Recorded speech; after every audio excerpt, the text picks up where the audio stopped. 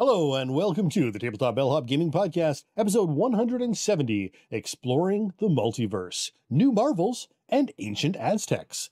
I'm Sean, and with me, the Tabletop Bellhop himself, Mo. I am the Tabletop Bellhop, your cardboard concierge, working with you to make your game nights better.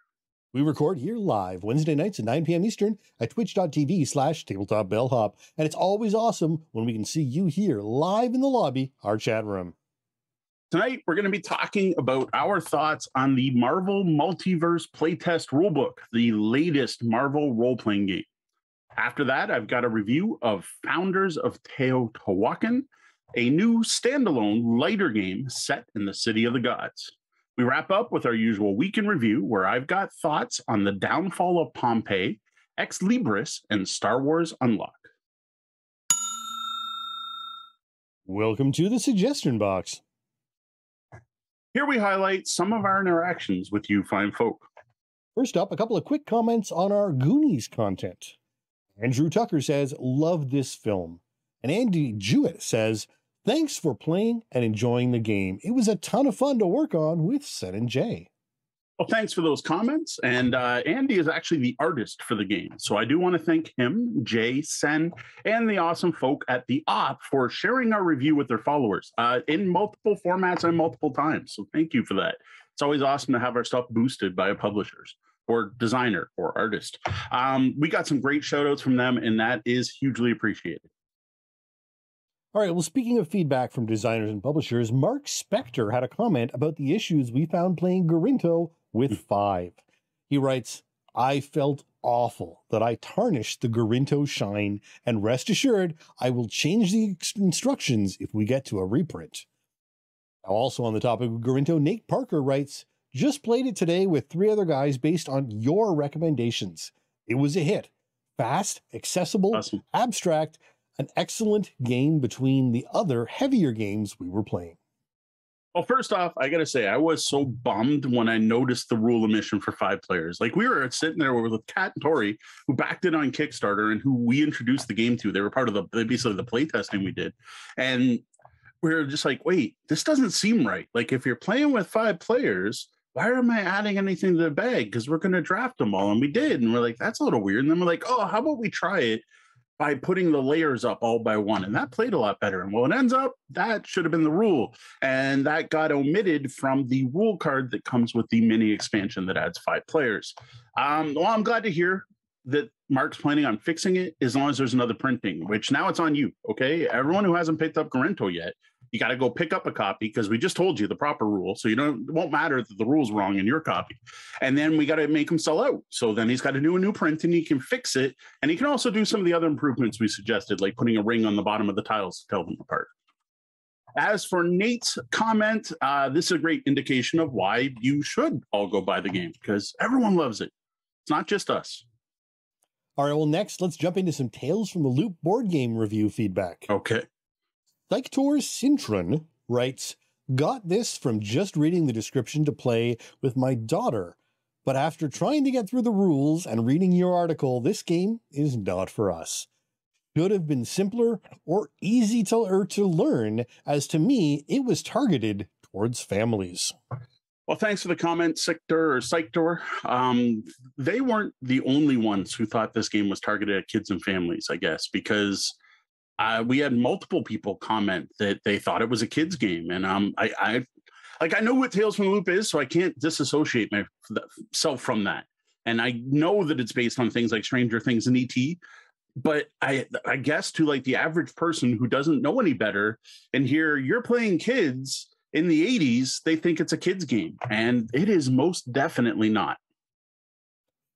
Dave simply stated, Tales from the Loop is a pass for me, I think. Nice review, though. And Chris Groff said, Great review, Mo. Martin Vasquez wrote, Thank you for this review. I saw this at one of my local shops and I wasn't sure if it was a good fit for my collection. I was kind of hoping for something a little lighter than challenging even to a seasoned gamer. Yep. Totally true. Like that is that seems to be the big problem with this game. Not besides the whole math issue, just the overall difficulty and complexity of it based on what you expect from the theme and the license. It's just it's way more meaty. It's it's a it's trying to be a role playing game without a DM. It really is, and that is not what your average board gamer wants. For more information on why, check out our review and see if you agree. I would strongly suggest if you're thinking of buying it, though, check out the review before purchasing. oh, finally, Ralph Mazza says, I'm eager to play my copy. The okay. dice whiffage odds are the bane of all the Year Zero engine games. It's more tolerable for apocalyptic horror, not so much for the other settings they use it for. Okay. An easy solution is to count fives and sixes on a push, not just sixes. So if you okay. score, a, score a six on the initial roll, great. But if you have to waste time and push to get your, you get to count fives too. That often makes for a guaranteed success if you already know you rolled a five, the odds of a five or six on the first roll being quite good. Hmm. This makes it more of a resource cost and less of a whiff, while maintaining the possibility for the occasional failure. I do like that the core mechanics are very close to the RPG. Well, thanks for that, Ralph, and everyone else who uh, took the time to comment. So, one thing that, that confused me there, I it's been too long since I played the role playing game. But in this game, when you push, you have to re-roll all your dice. So you can't push if you have a five. Like having a five already showing on the dice means nothing. So I, that might be something that's different from the role playing game. I don't remember. But I swear when we played the role playing game, if you pushed, it was re-roll everything, not any number of your dice. So so that may matter. Unless I guess maybe you could keep the optional rule. But a guaranteed success seems kind of that seems to be pushing it too far the other way a guaranteed success on a on a push seems like a bit much, but I do like the improved odds of a five or a six. And again, it's going to be based on how big your dice pool is. So you're going to still have that curve of once you get up to fives and sixes, you're getting into the really high percentages. Um, as I mentioned in the review, though, in the RPG, I didn't see it a problem. At least in Tales from Loop, I'll admit I haven't played like Mutant Year Zero, or I don't even remember what other games are in that engine. There's a bunch. Um, I don't mind whiffing in a role playing game because it leads to more interesting things. But I'll admit, I did not always feel that way at all. Uh, it took modern role playing games, uh, specifically powered by the Apocalypse games. Note I never actually played Apocalypse World, but I played some PBTA games, uh, Hydro Hackers by Phil and uh, Masks, and there was at least one other I played. That's when I started to learn that failure can be as interesting and sometimes more interesting than failure.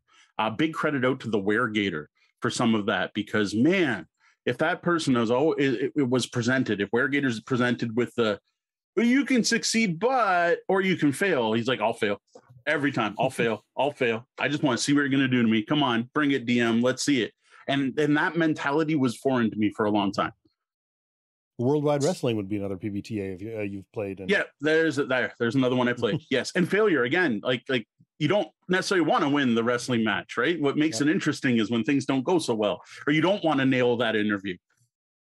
So anyway, um, it works for me. I have no problem with it. Like I, I, I have no problem with with bad chances. Come on, I grew up on Warhammer Fantasy Roleplay, where your main character had a ballistic skill of less than thirty, and back then you didn't add twenty for an easy roll. You just tried to roll thirty or less, or you missed. That was the game of whiffing every single time. And then when you did hit, the opponent had strike mighty blow and would roll out of the way anyway. But anyway, that's all great in a role playing game. Terrible in a board game. Terrible. Like why? Why? Why? Uh, they, when nothing happens. Like like in this game, it was geek penalized. Not something more interesting happens. Yeah. No, I, I do like the idea of the the push being a resource cost as opposed to the to yes. the, the the fail. You know, the another chance to fail. all right. Totally well, next, agree. Next, we've got a ton of comments on our topic of crossing the streams using board games to inspire and improve your RPG sessions. Dian Li Zhang says, I'm looking behind us now, across the count of time, down the long hall into history back. I see the Traveller game oh so long ago that I played in where the players playing in the Spinward march- marches played in the time of the Fifth Frontier War. The GM had a parallel game of the war game the Fifth Frontier War going on with the people who liked war games in our crew. So, every so often, that gang would play a few turns of the war game. And those events formed the backdrop for the RPG events. And That's awesome. in at least two cases, we did things as PCs that impacted the war game. It was an interesting game. It did give the impression of a larger universe out mm-hmm. there where we weren't the center of existence and it also made the campaign feel more alive. It lets those of us who like war games to mix two hobbies together while leaving those of us, like me, who found the war, war games woefully boring, out of the tedium. Since then, I've always tried to find ways to bring bigger events in the background into the campaign in player friendly ways, but never quite managed to capture the lightning in a bottle ever again. Largely because I don't like board war games, and at the time there weren't any good regular board games that could be used that way. That is fantastic. That Traveller game sounds amazing. I, I want to go play that Traveller game now. I, I don't own that war game, but I know do know that's a Traveller war game that existed. And you know what? We talked about like using Mighty Empires. Um, and and it, there's a number of these campaign games where you then go and play out the small battle, or you then go role play the scene. I'm like, that's one thing, but this is like a whole different level where it's creating the background events in the world, and I love that like if I had thought of that back when we were doing the AD&D campaign that was already pretty much procedural and sandbox, if there had been some other thing going on in the background that it could be like, oh, this empire to the north fell, and uh, uh, you know one of the players was in that game of diplomacy that led to that. Whatever, whatever it happens to be, I love the idea of it. I absolutely adore it. And I'm just thinking about like even the Tales from the Loop board game, right?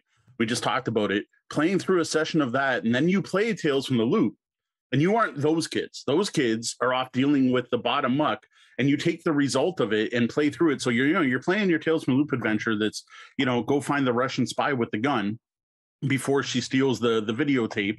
And it ends up all of a sudden this robot comes in and lights the school on fire, which is something that happened in the board game when we were playing. And you're like, what the hell's going on? And you see the other kids like running by, you know, trying to take care of it, but you've got your own problems. Oh, I love that concept. I really do. That is awesome. Thank you so much for that, Deanne All right. Well, Ian Borchardt writes, I really want to somehow fit the encounter mechanisms from Tales of the Arabian Nights mm. into my standard sandbox encounter system, but haven't worked out how to get the characters to choose the exact encounter type they want without breaking immersion. Still, the random adjective on the noun with increasing potency with difficulty is still a really great mechanism. Now that is an idea worth exploring. Um, Ian and I have actually gone back and forth after this, trying to refine this idea. So I'm not going to get into the full details of Tales of the Arabian Nights, but it's a very sandbox game set in the time of you know Sinbad and Shahrazad, um, that fantasy realm, and you will like meet a beggar on the street, and you get a list of adjectives on how you want to react to that beggar. And then you look up in a big spiral bound book what happens based on what you did, and there may be die rolls involved and stuff. But like you could get to the beggar and you could be generous, or you could get to the beggar and you could turn them down. And being that world, that beggar, of course, could be a jinn, or it could be the king in disguise, or it could just be a beggar. And it's it's a extremely sandbox game. I've got to say, for hardcore gamers who are trying to win, it's a terrible game. But for people just playing and exploring a world and telling stories, it's fantastic honestly completely like I, I, own this game, but I tend to forget about it. It's not one I'm I'm never like, oh no, we need to play again. Let's sit down and play a six player game of Arabian Nights. But we really should. I think this should be added to the list because I really think you dig it, Sean, for those RPG-ish aspects. Now, note there are some problematic things in it. Um, gender swapping is an important part. Well, not important, but far too frequent part of the game. Um, I shouldn't say gender swapping as as in that's bad, but um, uh, forced gender swapping. Mm it just, but you can tell the game's a bit of the date, dated, and while it's also, of course, based on the source material, which had some of that going on. So there is a bit of that, and there is some um, other suggestive content, and the types of people you meet may fall into some stereotypes. But realizing that, sitting down to play this game, I think you'd really enjoy it. All right. Well, Todd Zurcher writes A while back, I played a solo game by combining Troll Babe and Barbarian hmm. Prince. I had a blast with that hybrid. Now there's some classic games like like then you played a game of nuclear war after like wow, um some old school early exploration RPG ish board games. I dig it. Cool combo.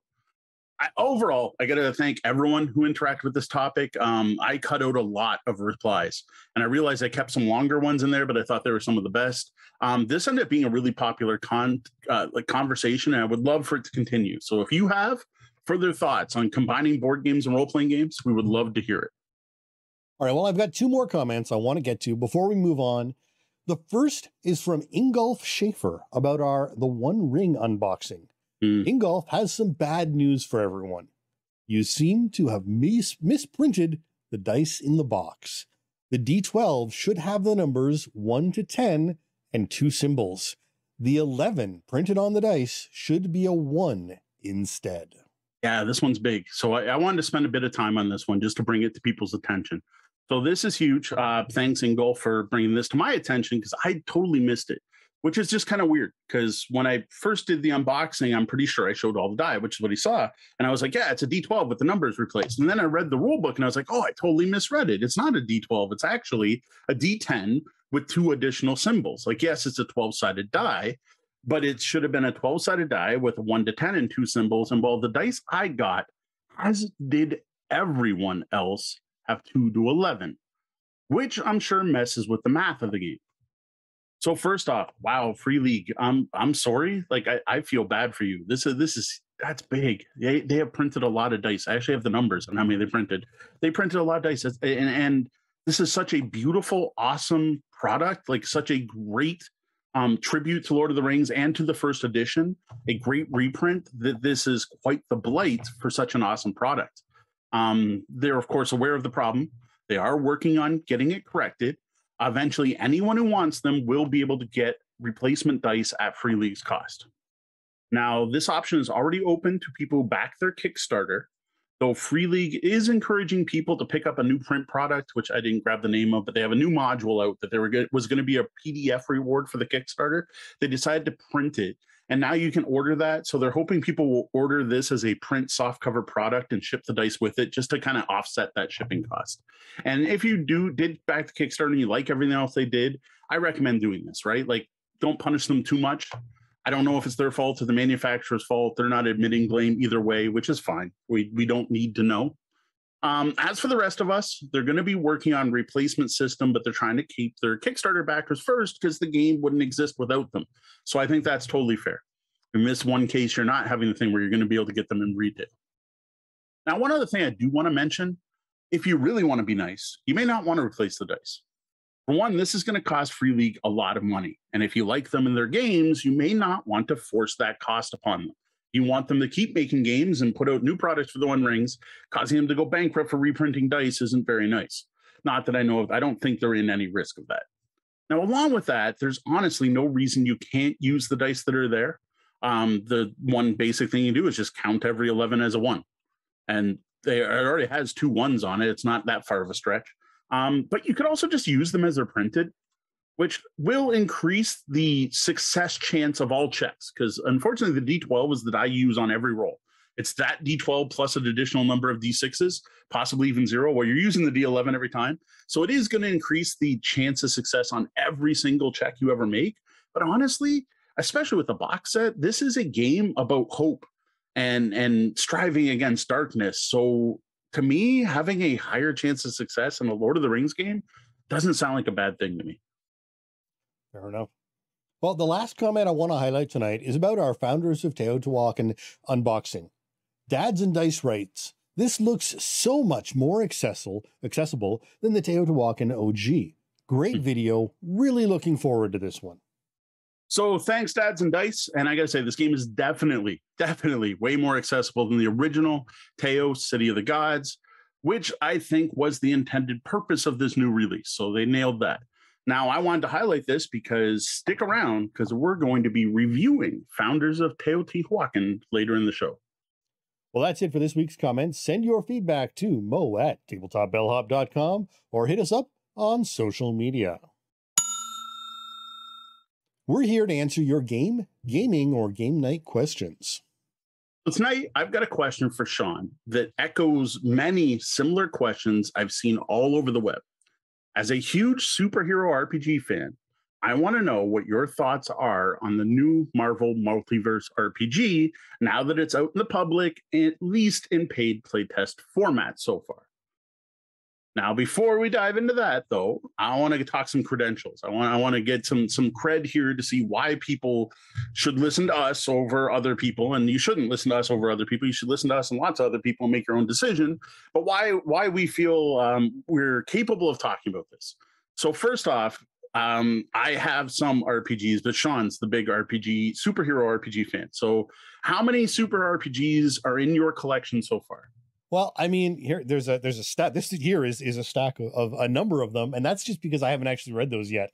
Uh, those aren't those aren't all the ones on the bookshelf. Uh, right now, I'm sitting on, I believe, a 20 physical copies of systems, not including source books and and and various stuff. Uh, and then I have another 25 or so in digital only form. Uh, some because it's the only format they come in. Mhm. Others I haven't been able to find in physical, or just haven't gotten around to purchasing in physical. Or it's in some cases the physical hasn't shipped yet, and I just Yep. have the PDFs uh, that that I've downloaded uh, until the uh, physical Kickstarter ships. I gotta say, like a, a collection of 45 RPGs doesn't sound that big, but 45 superhero RPGs, I think that's pretty significant. Now you also don't just collect these, right? You just commented the ones behind you is basically your pile of shame, your to read pile, pile your shelf of shame, whatever you want to go by. Shelf of opportunity for those who prefer that term. Um, you both run and play in various online supers games, some of which have gone better than others. Indeed. Now, while I haven't run all of those I mentioned by any means, I have been involved in superhero roleplay in one form or another for a good decade or so, both as a player and a GM, or whatever you choose to call that role for your game. Mhm. Uh, personally, uh, in games I'm running, I prefer editor as the title in a supers game, uh, since I really try to push the comic book style, and editor Sure. just kind of fits fits in a little bit better. That fits for me. I always tell the players they're the guest writers, but I don't usually have a specific term for the DM. But that makes sense. They're the guest writers, you're the editor. Now, one final thing I think is worth knowing before we move on to your thoughts about this specific superheroes RPG. Everyone's looking for something different in a supers RPG. What do you look for? What type of supers gamer are you? I know there's people out there who love the crunch and the numbers and initiative segments and counting inches and seeing how many pounds they can lift or how many squares they can fly. And I know there's others who are much happier with a purely descriptive power like force raise and some narrative cues. Where do you fall on that scale?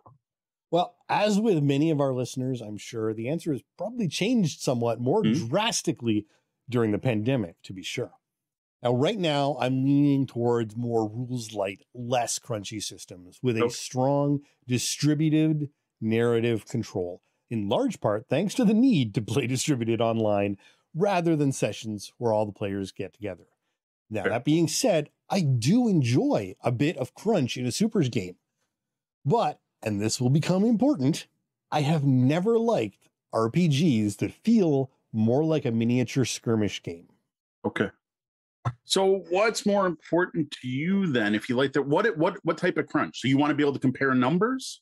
Like Right. is it for that compare two people to see where they are in a scale? So yeah, absolutely. And I mean, we have talked about this and, and I, I hit it on the head every time. I, I feel like a, a parrot, but scale. it's all about scale. Uh, you can't do supers without properly without scale or a very, very narrow focus and, and Okay. ignoring a whole lot of the super genre.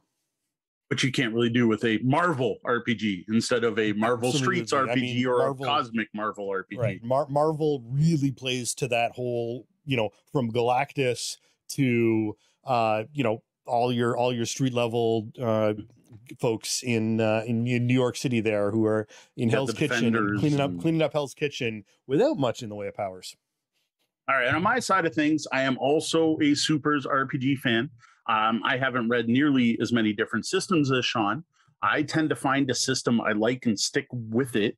Um, for years, for me, and actually the first role playing game I ever played was the TSR Marvel Superheroes game, the FASERIP system. That was my first role playing game I ever played in my entire life. And honestly, and still to this day, impacts what I like out of a game. I have never been a level up to get more stuff to beat the bad guy to get better stuff to beat the bigger bad guy to get better stuff to defeat the bad. I just I've never been a fan of that, and I also always liked systems where you're getting beaten down and fighting against something bigger. And I think both of those come from Marvel. It was interesting because I had to really think about this and I had to think way, way back. Not quite as back as far as your Marvel TSR experiences. Right. But uh, similarly, and, and and I think I may have actually blocked this out of my mind for quite a while because the first Supers game I played in was actually Palladium's Teenage Mutant Ninja Turtles. Mhm. Now, honestly, I don't recall much about it. We probably only played a single session back in the day uh, because there was a lot of that that sort of went on in the in the RPG club we were both a part of. Mhm. But uh, but yeah, Palladium, honest to God, was my introduction to superhero RPGs, and I, amazing. I remember this making far. characters way more than playing that, though. I know we both were in a game under Tim Pine as a as Yep. a GM, assuming it was called GM. I don't remember. Now from from Marvel, no, I'm not going to go through my entire history here, but I did try DC Heroes next, which to me was that scale. Like I, I will say, TSR Marvel Superheroes was there's inches and there's stats and there's bands, but DC went to minutia and crunch in detail. And I can honestly say, I don't want to ever have to use the log function on my calculator in a role playing game ever again. Please. Ah, yes, the Mayfair system. See, the problem was you were using a calculator. it was designed based off of a slide rule because everyone had a slide rule in the 80s, of course. To be honest, I had one, and maybe that might have made it easier. Maybe that's what I did wrong. I didn't use my slide rule, my dad's slide rule, when playing DC Heroes. Um, I did play other superhero games in there many years later, though. Um, speaking of playtest, since we're talking about a playtest document tonight, um, the awesome Cam Banks reached out to me and asked me to do some playtesting on the Margaret Weis Productions Marvel Heroic Role Playing. Um, this was a very different game. I this this was when I had my first tablet ever, and I loved Goodreader because all I got was like the preview documents. It was it was multiple separate PDFs, including one that was still a Word document, right? This game hooked me. Like I, I had tried a couple other super games in the middle. I will admit I never played the big ones like Champions or whatever, but oh, Marvel Heroic Role Playing was awesome. But it was it had a learning curve especially as a trad gamer, trying to wrap my head around Cortex Plus was not easy. Um, what it took was playing it. This was the first role playing game that absolutely convinced me that you cannot make a final decision on a role playing game before playing it. Uh, no, we're going to be talking about Marvel tonight without having played it yet. Um, sitting down to play that game was completely different than reading it. This was a narrative system. Um, it's one of those I tend to call them player BS systems, where the players try to BS the the the game master and get away with as much as they want, which can be brilliant and can be terrible. Uh, it depends on how well you moderate it. It was all about selecting from your powers and telling a story. And honestly, it has what to me now is my my judge on a superhero RPG is can Aunt May beat the Hulk by making him cry? And you could mechanically do that. To my, in my opinion, Marvel Heroic Role Playing from Margaret Weis Productions is the best Marvel RPG that's been published so far. All right. Well, sadly, this is one I still haven't dabbled in, but it does unquestionably hold a warm place in the heart of many Marvel RPG fans, to be sure. Oddly, though, I still actually hear more about FASERIP Yeah, than Heroic. it's true. Um, actually, another one. It's I'll get to that in a second. Sorry. Um, most recently, Sentinel Comics is is the the new hotness for me as far as superhero games. I have played this. I have not run it. I have read the starter set. I own the core book, so there's my pile of shame for for RPG rule books. And I got to say, it's a fa- fantastic system that I think splits the balance between some crunch and narrative. There are some very scripted things. It's definitely got a powered by the apocalypse influence on that of like you have moves, I guess we'll call them. Your powers have description ways to use them, but it used like the escalation system from Marvel Heroic, and it has a, a fate point style system for affecting the narrative. It, it, it may beat out Marvel Heroic role playing for me if I played it more, but Sentinel Comics is not licensed. This is not a Marvel role playing game. It is a standalone game set in the Sentinels of the Multiverse universe. Which I guess I should say it is licensed if Sentinels of the Multiverse Council license, but it's not Marvel DC. Now, sadly, my first experience at a Sentinels table was going to be like the week after the pandemic lockdown in Ontario Yeah, and was obviously literally. canceled. So I can't speak with any specific expertise on it. Though again, right now it is one of the top options out there and I really need to get it to the table because it may actually take over for me as Yeah. a lot of people have really talked about that balance of crunch and narrative Mhm. which is what I have really kind of always wanted um, and and yet to find. So So so far, what we're finding out this episode is Mo and Sean need to get together and play these games. So we might we might have to plan this somehow. I don't know how. It, it'll probably be online um, unless we need miniatures and stuff. But you can still do that on Roll Twenty and actually play through all of these. um, so despite the number of games Sean, had, I played more Marvel games than Sean has. Yeah. So that has made a difference. So I, I also have a copy of the highly sought after, the very vaunted, considered by many the best ever published Marvel role playing game, which is the Marvel Saga role playing system put out by TSR. So we're going back this was card driven. This was literally a hand of cards you used to make decisions on. You flip decks. Now, I have played the Dragonlance saga system and loved it. I honestly think that is one of the best before its time narrative modern role playing games that was not modern at the time. Like, like is from the past, and people forgot how to play in between, and then rediscovered some of the stuff that was in that game.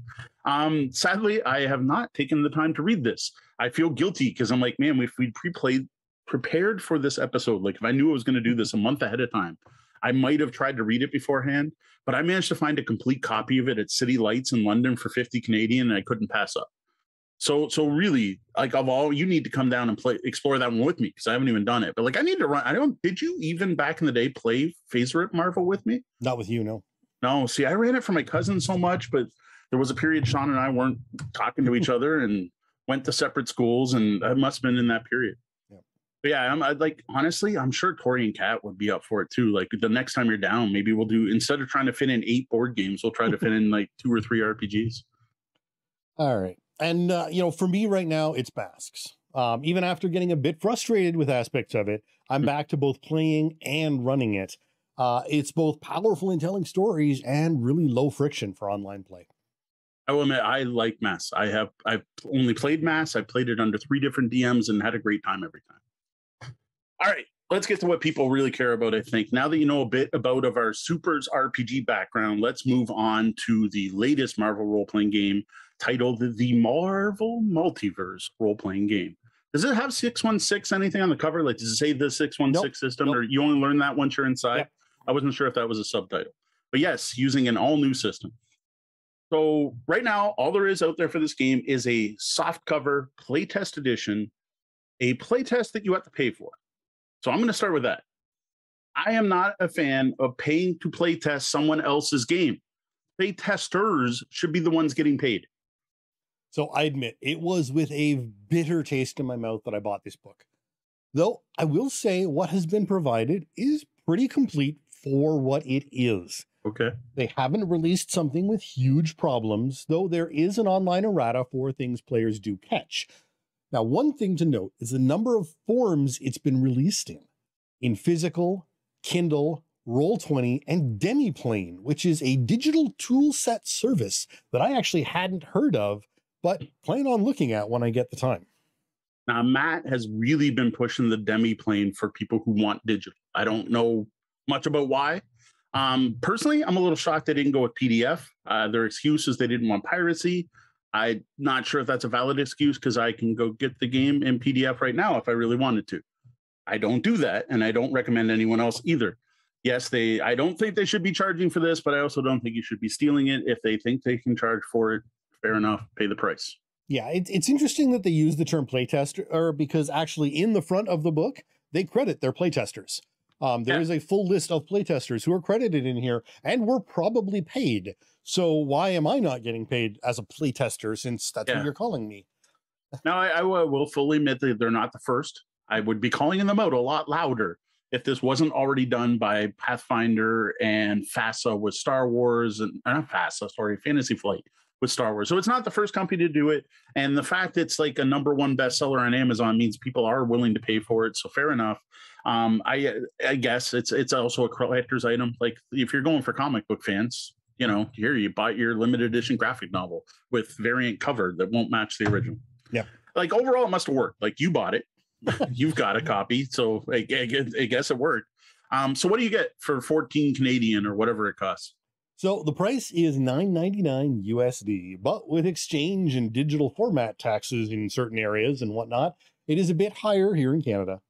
Now, what you get is a soft cover, 120 page, full color comic book.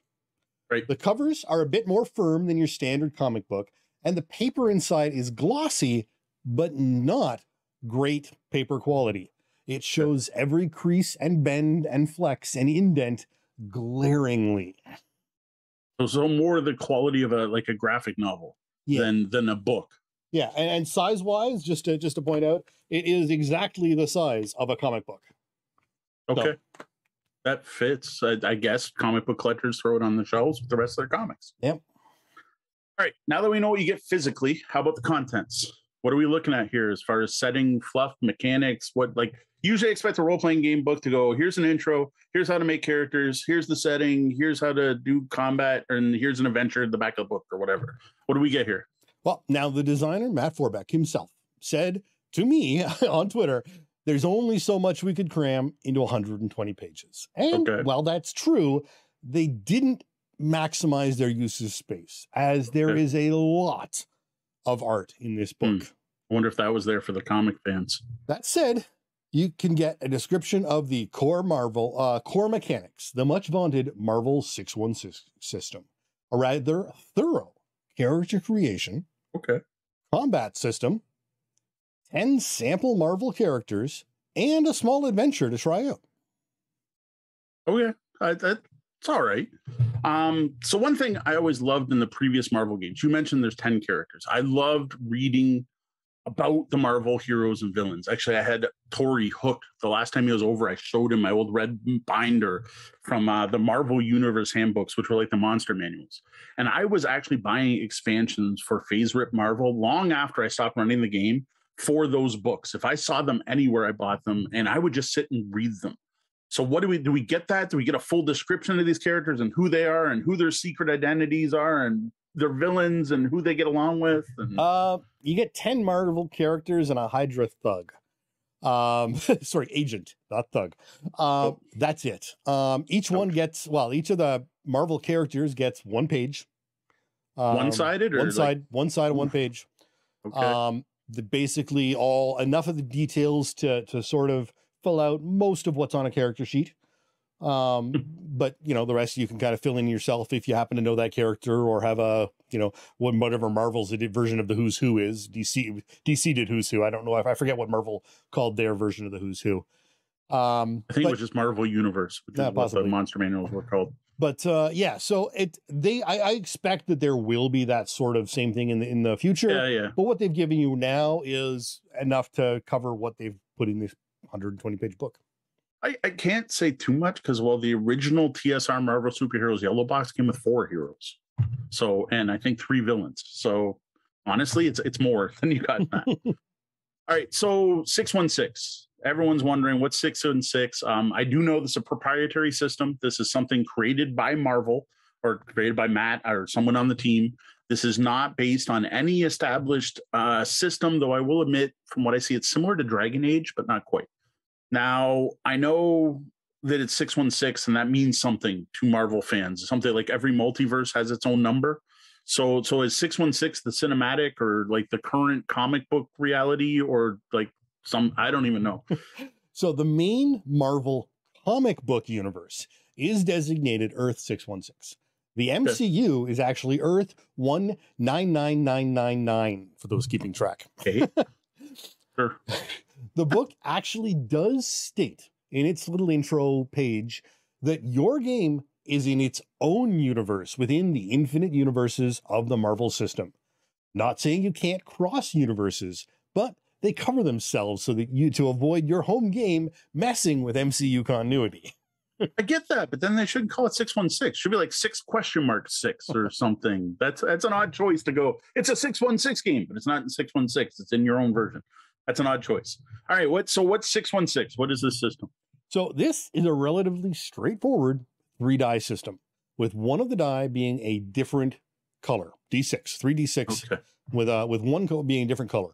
If you buy an official Marvel set when they come out, uh the one on the special Mar- Marvel die will be a Marvel logo.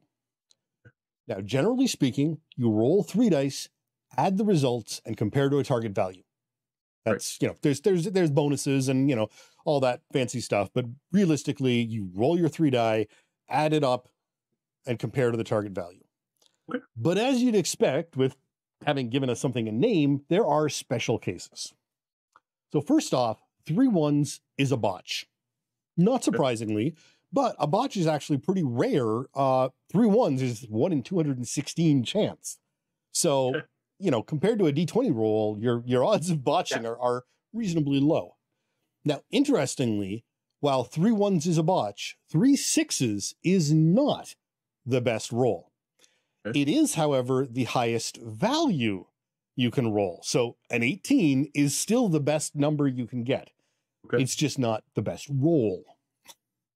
The best roll is two sixes on your regular dice and a one or a Marvel symbol on the Marvel die.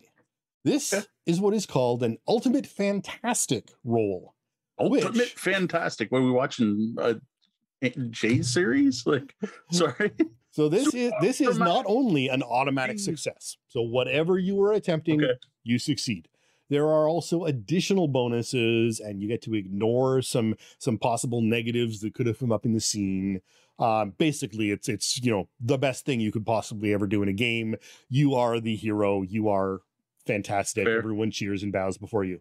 Uh, now, in addition to that, anytime your Marvel die shows a one or the Marvel symbol, Yeah. it is a fantastic roll. Okay. And now that is regardless of success or failure. Oh, nice. Nice. So this gives you your narrative yes and or no but mechanics, Cool. depending on whether or not the roll was a success or failure numerically. And this fantastic roll may also have a specific trigger of fantastic within your power, your specific power or powers. Okay. I, ultimate fantastic roll stuff. Ultimate fantastic roll. Like uh, there's something about that name. I, I, I- I, really, if I, if I'm smart, I should probably record an ultimate fantastic soundbite, like you know, like, like something out of Mortal Kombat, Every time and you start distributing distuditing that so that people can use that on as on like it, a, a, a soundboard. Uh, it will be like like it's, it's got to be a thing. uh, so, do doubles do anything?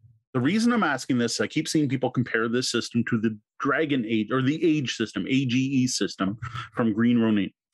No, not at all. Okay, because that also uses three dice, and there's a one die that's a different color called your Dragon die in in Dragon Age at least, and in Fantasy Age. But what happens on that is your middle die is your degree of success, but when you roll doubles, you get points to spend based on that die to cool do cool stuff. So it actually sounds quite different. Though the overall is still roll 3d6 to beat a target number. Yeah, it's But three this d is for the not target that. number, and if that one, if you hit a one on the Marvel die, then the magic starts, you know, happening. Fantastic roll happens. Yeah. I, that I I've been watching a lot of Ultraman, and I, I can't help it. Ultra fantastic roll King DX. Like I just anyway. So you mentioned the game includes character creation. You said it was pretty significant. This to me caught my eye right away, and I will admit was one of the selling points when this game, like the initial press came out. Everyone noticed on the cover there's like a grayed out question mark character, right? Which implies you get to be in the game, and I love that because many, uh, on actually on average, most of the previous Marvel games have either avoided character creation completely, wasn't an option, or provided a less than satisfactory system, usually based on here's where the these characters are at. So set your character where you think you are, right? So you're like, oh, I'm between Aunt May and and and and J. Jonah Jameson, so I'm a three, you know, or whatever. I don't know why I picked the two. Like I was trying to think of two of the lower ones, right? I guess I'm rating myself. There you go. you know, James probably kicked my butt. Um, anyway, how does character gen work in the Marvel multiverse? Now, I have to say, they have given a pretty hefty character creation system. Okay. And unless I miss my guess, based on what I've seen so far, it's going to get even more robust in the final release. You have not seen the final form of character creation. So, rank is their character level, um, and that goes from 1 to 25 and determines things like how much and how many powers you can have uh, as well as your uh, number of, of points you can spend on your attributes. Okay. So this this brings in again back to one of my favorite topics in super RPGs: scale. Street level starters are going to keep their rank low, while Avengers are going to step things up a bit, and Captain Marvel is a twenty-five. okay. So Now, Yep. is this like levels and the fact you can level up? So yes, you can level up.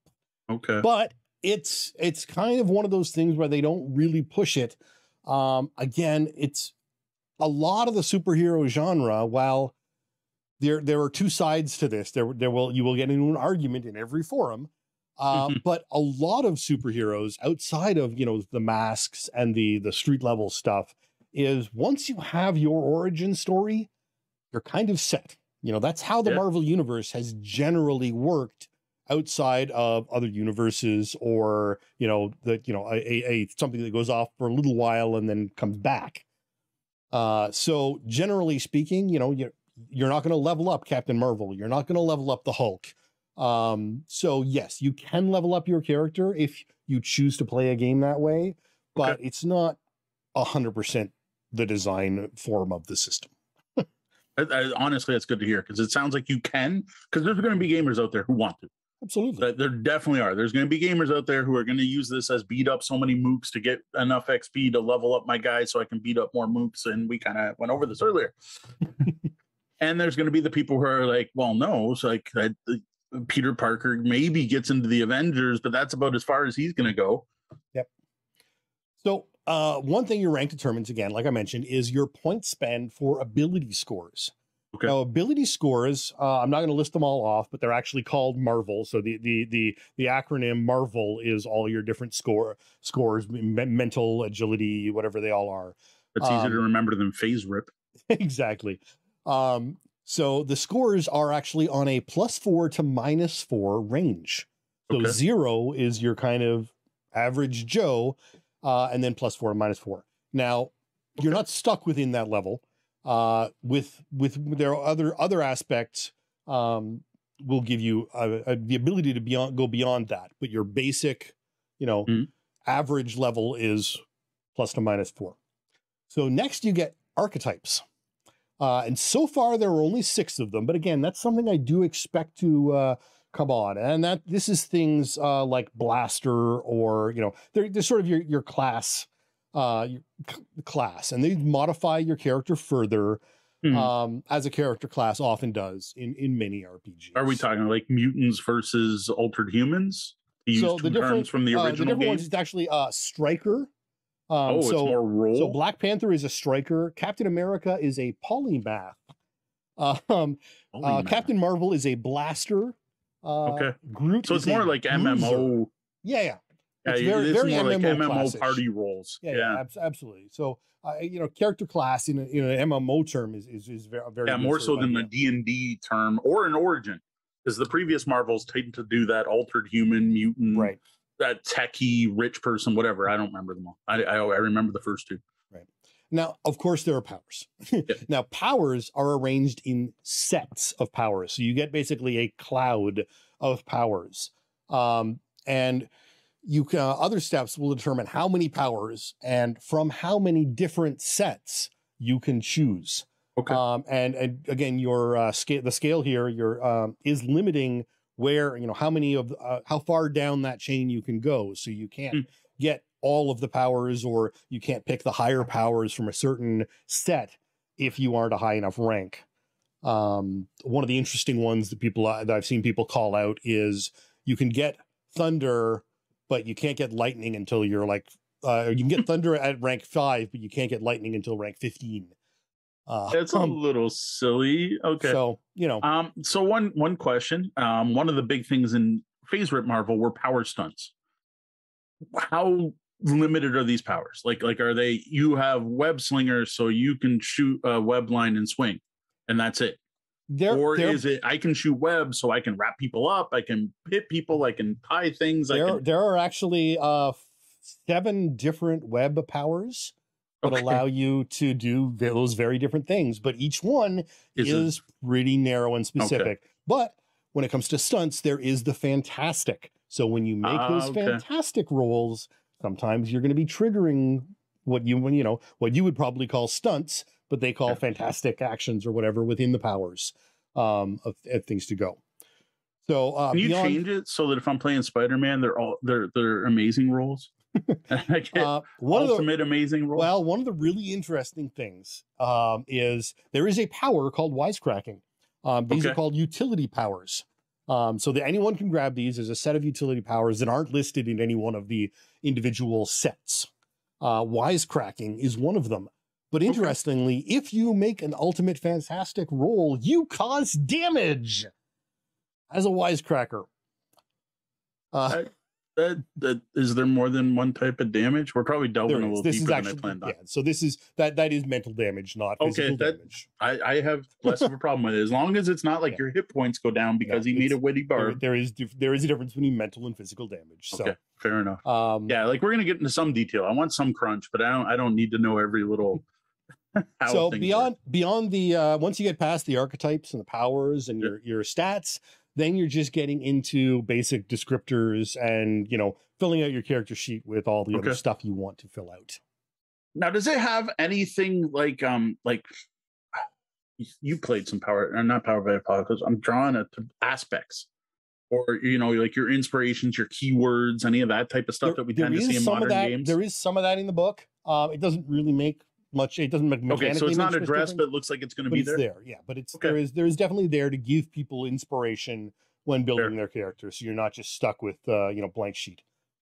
All right. So with the MMO rules, this actually goes well into a question we got on our Patreon before this episode went live. So Dave asked, "Do you think this is the sort of game where team synergy will be a big deal that you build around? Like Spider-Man makes webs and the Hulk tosses people in them." So I think they want it to be. And Okay. they have taken some steps with what they call these utility powers that I was mentioning. Uh, and some of these, uh, as well as comboing other powers, could certainly be used in that way. Okay. Now, they haven't, at least in this document, delved deeply into that aspect of their use. Fair. But Fastball Special is there as a specific utility Hmm. power to appease all of the X Men fans out there who you know are going to Oh, be immediately trying that. Totally true. No, I get that. I like that. Um, like as soon as you mentioned the roles too, like having a blaster and a this definitely implies that whole you're going to try to make a group of mixed. Yep. I forget what you called them. Not Archetypes. classes. Archetypes. Thank you. So moving on to the adventure, we I think uh, we we're we're kind of skipping over combat, but so there's one adventure in the book. Now I don't want to spoil anything, but how long would this take to play? Like, is this this a you know, Lord of the Rings, the One Ring starter set, where I've got probably a year's campaign if I really wanted to stretch it out, moving my hobbits through the Shire, or are we looking at like a single session, kind of learn the rules and you're done con game? So this is a one shot, a hundred percent. Um, an experienced GM using pre-gen characters would be able to move this pretty swiftly, and I doubt it would take a full con slot. Wow. Okay. Um, oh, you know, you, once you get into the teaching the system or generating characters, you might be able to to, to fill a full con slot, but it's it's four pages. okay. So, on, to be honest, that sounds more like a playtest. Like like some of the best playtests. I I playtested Feng Shui 2 for Robin Laws, and what he sent was the adventure in the back of the book. Right. And he said, run it as often as you can. Tell me everything about the sessions, record them if you can, tell me everything you can. And that is a single session. It's actually a con game that he used to run that he found was really good for introducing the game. So to me, that that, that doesn't it fits what this product is, but I'm disappointed. Yep, no, absolutely. Again, we're paying for this, and Yeah. that's it, the paying for it is what makes it a disappointment. If it was a free, you know, hey, we need you to test Here's- this, that's a whole different story. Yes, But because we're paying for it, it feels a little bit tight. I agree.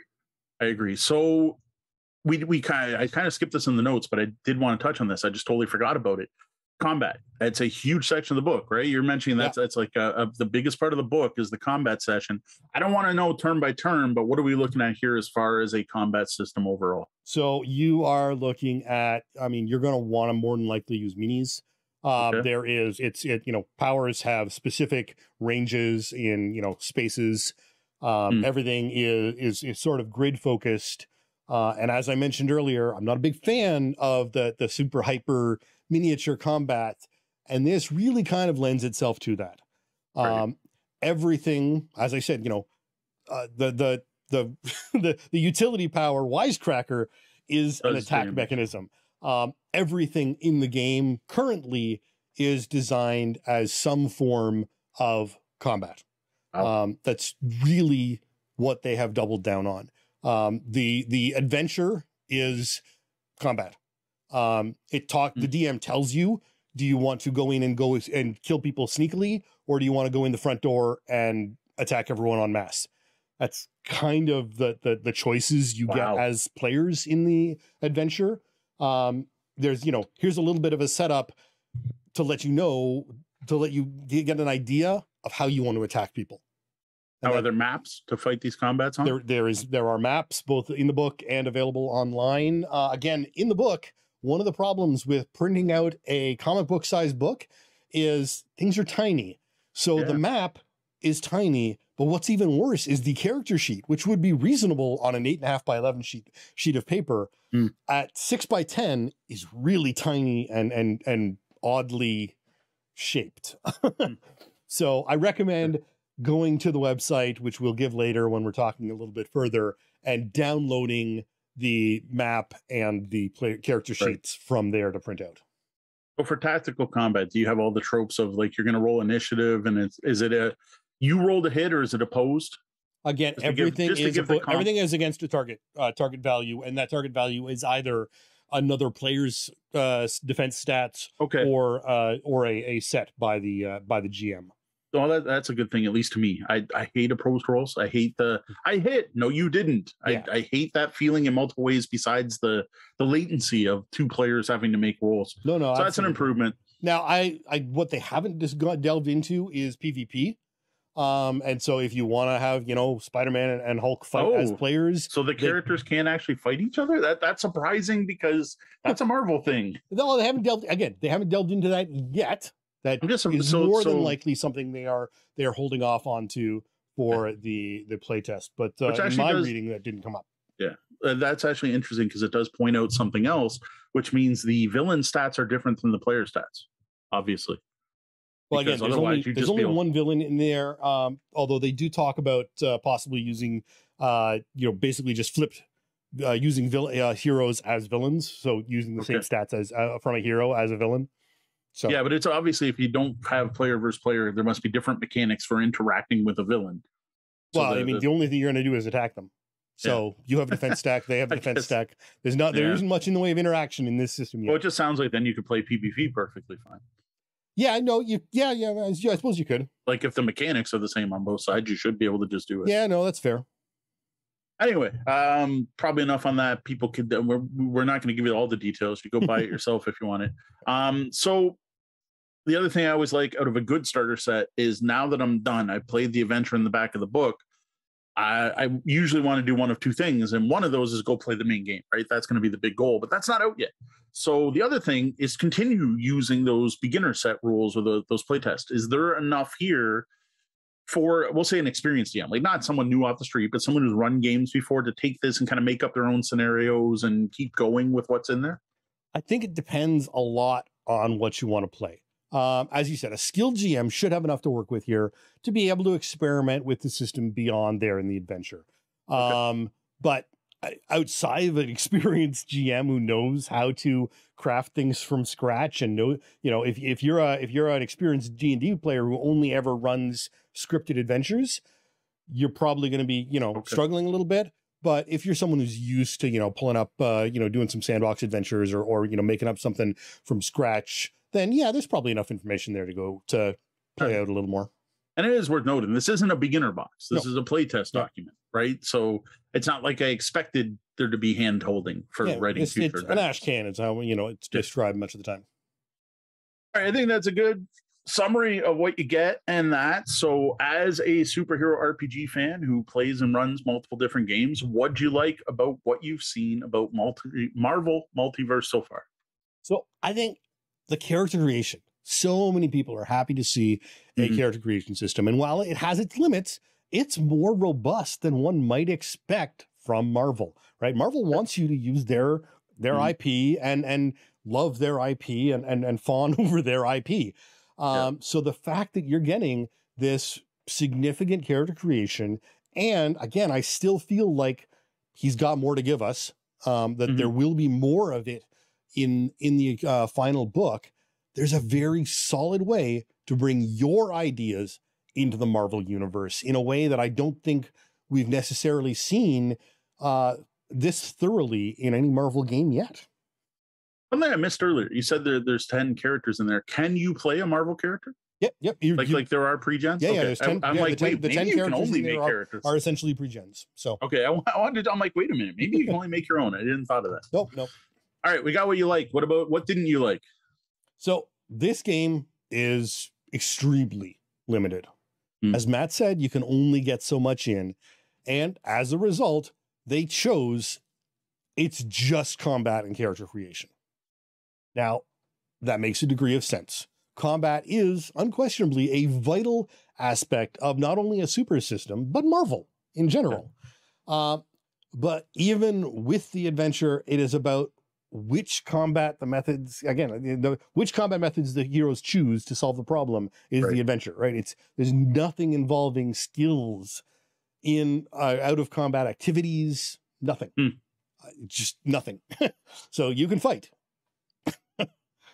I, you keep saying like, oh, you can only fit so much on 120 pages. I'm like, I've played fantastic two-page RPGs. well, So i mean it- my argument would be uh the four color hack is 80 pages Yeah, Uh, exactly. it's a complete system uh, and it's like- also or it's also comic book sized and I'm just like like 120 pages is not a small amount. I, I get it, it's Marvel, and I'm sure there's a lot of Marvelness in there that takes up extra space. again uh, so you know And- i'll do and- a, i'll do a quick little little flip here but you know pretty much every page you have art A lot of art. a lot of art a lot of art you're, Yeah. you're not going to find a page without you know a quarter of your use usable two page spread minimum Yeah. taken up with really nice again it's great playtest. quality marvel art but i want to play the game and i want to learn about the game Yeah. i know what spider-man looks like But yeah, and it's a playtest. Like like I expect less art in a playtest. I want to playtest the rules, not say you have a pretty book.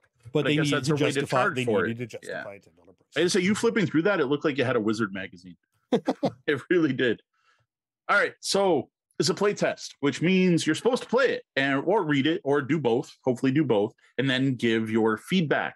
What have they done to be able for people to provide their feedback? I do really hope they've done something hmm, so people can at least complain or say it's awesome. so thankfully they have done this right good. if you go to marvel.com slash rpg Easy they have a enough. forum you fill out that has a few multiple choice questions to you know line up their their answers but then also open forms to answer enter your thoughts and opinions uh in in multiple you know areas so Mhm. i have already most certainly taken advantage of this as well as reaching out to matt on twitter uh and i may well again i you know i'm probably going to do at least one more read through of this and and you know take take advantage of of the time and probably make more comments in the future.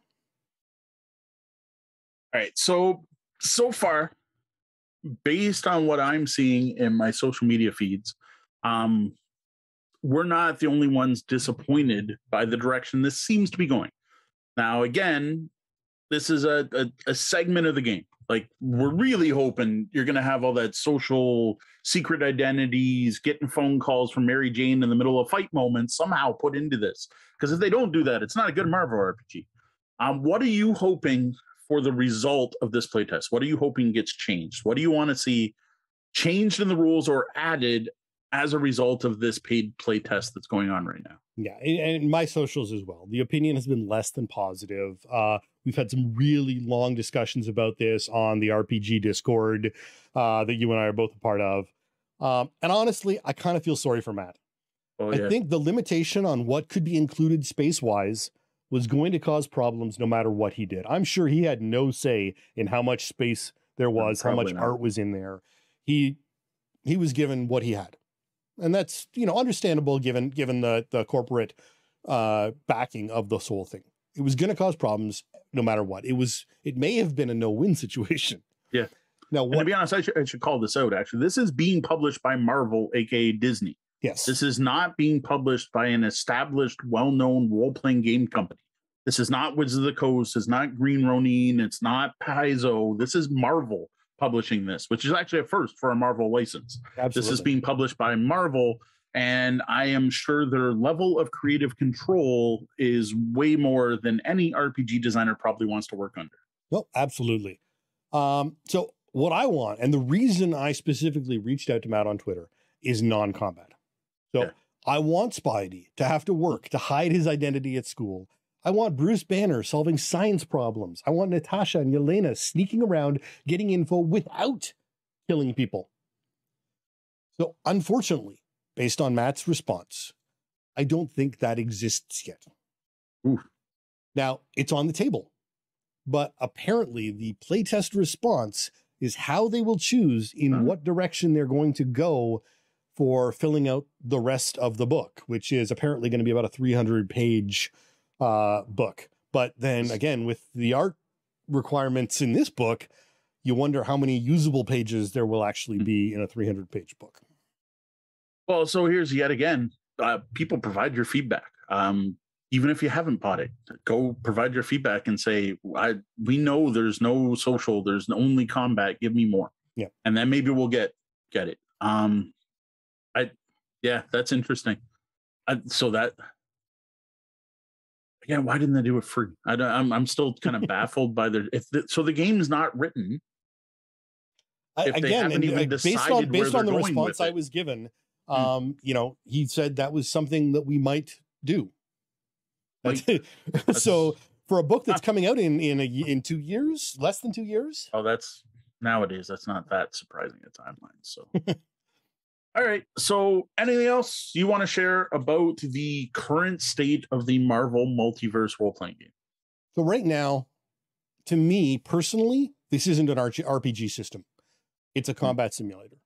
Uh, in the Discord, I got I called it Marvel Smash Brothers for tabletop. Um, again, everything in the game is about damage and combat. Uh, it's it's just about fighting, and while that would make a great skirmish game, that's not what I call an RPG. That's fair. Uh, totally can see it. Now, I will give the same conceit I mentioned earlier. Um, the original Yellow Box TSR Marvel Superheroes, uh, though they managed to do it in a nine page rule book, uh, is a combat game. It gives you four heroes, it gives you villains, it gives you maps, and it gives you tokens to put on those maps and gives you a battle called Day of the Octopus. So I can't be too upset about it when the game that got me started on role playing and the first Marvel game kind of did the same thing. Now, I would like to think that the future and other Marvel games have proved that people want to tell other stories than who can beat up who. Um, and well, based on what you said, it sounds like the playtest may go that way. It's on the table, right? So let's hopefully we get to see some of that. So that's it for our thoughts so far on the Marvel Multiverse role playing game. I'm sure we'll be talking about this one again in the future as more content is released. And it'd be really awesome if we can somehow get in an actual play at some point. Maybe that's something we can work out uh, online or not. It'll be really interesting to see over the next two years or so how this game evolves and changes as time goes on. Indeed, with you know 300 more than double the the page count for the final document. Last I heard, there's a lot of room for growth from what they have now, Mhm. and I really do wish Matt all the best in his development of this system. Totally fair. Now we're here to answer your gaming and game night questions. If you got a question for us, head over to the website, click on Ask the Bellhop, email questions at tabletopbellhop.com. Hit me up on social media where I can be found everywhere at tabletop bellhop, one word. Welcome to our review of Founders of Teotihuacan, a standalone game set in the City of the Gods. Before we start, a quick shout out and thanks to Board and Dice for sending us a review copy of this board game to check out. All right, Founders of Teotihuacan was designed by Philip Glowacz. Features artwork from Chuy de Leon, Odysseus, Stamoglou, and Alexander Zawada. I do apologize on my anglicized pron- pronunciations of those. Now, it was published by Board and Dice here in North America, with copies just hitting stores earlier this month. Now, this new Teotihuacan game plays one to four players, with each game taking under an hour once you've gotten the mechanics down. Now, Founders of Teotihuacan has a $50 US MSRP. Before we go further, I just want to reiterate that this is a new Mhm. standalone game. While it shares the name, theme, and some of the mechanics of Teotihuacan City of the Gods, this is not an expansion, new edition, or really even re-implementation of that game. Uh, having or knowing the original is not required to play or enjoy this game. In Founders of Teotihuacan, players compete to create the best design for the city of the gods, including its buildings, temples, and of course, the grand pyramid in the center of the city. Now, this is all done through a unique action selection system. You'll have to balance resource generation and building, as well as work within districts based on a tiling system where you can only build in the district your architect can see, and they're going to move around your board each round. Points are awarded for a number of things, as well as having temples that match the tiles in your central pyramid and competing the requirements of god tiles. In the end, the builder with the most points is at the end of at most four rounds wins the game. So check out what you get in this lighter, quicker Teotihuacan game in our founders of Teotihuacan unboxing video on YouTube. So the copy of the game I received from Board and Dice was technically a pre-release review copy. Now it is a complete game. This was not a prototype. This was not a playtest, but it was a pre-release. So what I got may not exactly match what you get in the retail copy. So when watching that unboxing, be aware of that. Now, the one thing that I know won't match is that my copy didn't initially have enough cubes to be able to play it at four players. Now, thanks Boards and Dice, they tossed in some extra cubes along with that game. Now, for me, these weren't actually the same color. So if you do see me sharing pics of this game or you check out my written review, um, this isn't something that's going to happen if you pick it up. Your cubes are all going to be the same color. Also, no, who cares? Like, like they're close enough. You can easily tell the gray from the brown from the gold, even if there's slight variations between the individuals. So great to see the publisher making sure that even preview copies mm-hmm. are complete so that they can be reviewed thoroughly. It would have been easy enough for them to have just said, sorry, can't play with all player counts. Or I might be here going, what the heck? They didn't give me enough to even be able to play what's happening, which actually happened with another game recently. Now, a port from the cube problem, everything here is decent, but nothing really outstanding. Um, there's a lot of cardboard. And unlike the bigger Teotihuacan game, you aren't getting um, the over the top things like there were some like mahjong like tiles in that. You're not getting that. Instead, you've got a main market board um, that is like jigsaw fit instead of a fold. You've got individual two sided player boards, symmetric and asymmetric sides. You got wooden cubes and discs. Uh, large wooden meeple. There's some of the biggest meeple I've ever seen that have, still have that standard meeple size and a ton of cardboard tiles. You got uh, pyramid pieces, you got buildings, you got temples, you got temple tiles, you got mass, and even more. Well, now that we've got a good idea of what you get in the box, how about you give us an overview of play? Right, so to start off, you're going to pick which side of those player boards to use. Again, there's a symmetric side and an asymmetric side. Everyone uses the same side. So either everyone's all symmetric or everyone's asymmetric. There's no like, hey, you play asymmetric, I'm going to play symmetric, which would make some of it whatever. You're gonna you're gonna pick which side. You're gonna take the board. You're gonna take all your components of the color of, of your color. Then you're gonna put your architect meeple. It's a giant meeple on one side of your board based on where you're sitting. Then you're going to play scoring discs and favorite tokens on the lowest spot on a couple of the tracks, so you keep track of your score individually. And then there's a pyramid track up on the main board that you can go up on. Can't have a a one of these um, Mesoamerican themed games without a track. It seems that seems to be part of Boards and Dice's design. Now, the central market is populated with buildings, temples, and pyramid tiles, and the sun and eclipse markers are placed on the round tracker. Bonus discs are randomized and placed on all the action spots, and there's three different areas of the board and multiple action spots in each area. Note the player count will affect how many of these placements go out, like how many buildings and how many discs, with less available with less players. So, is there a large difference in setup for player counts or just a few items? So, it's mainly the amount of stuff there is to buy. With less players, there's less to buy because there's meant to be scarcity. There's no way all the players will be able to build a four square gold temple every turn. That's basically it. Every round, I should say. And every round they're going to repopulate, and it's similar with that. Same with the number of action spots. With less players, there's less spots, so there's competition over those spots instead of everyone being able to go where they want every turn, which is something you actually need in an action selection game.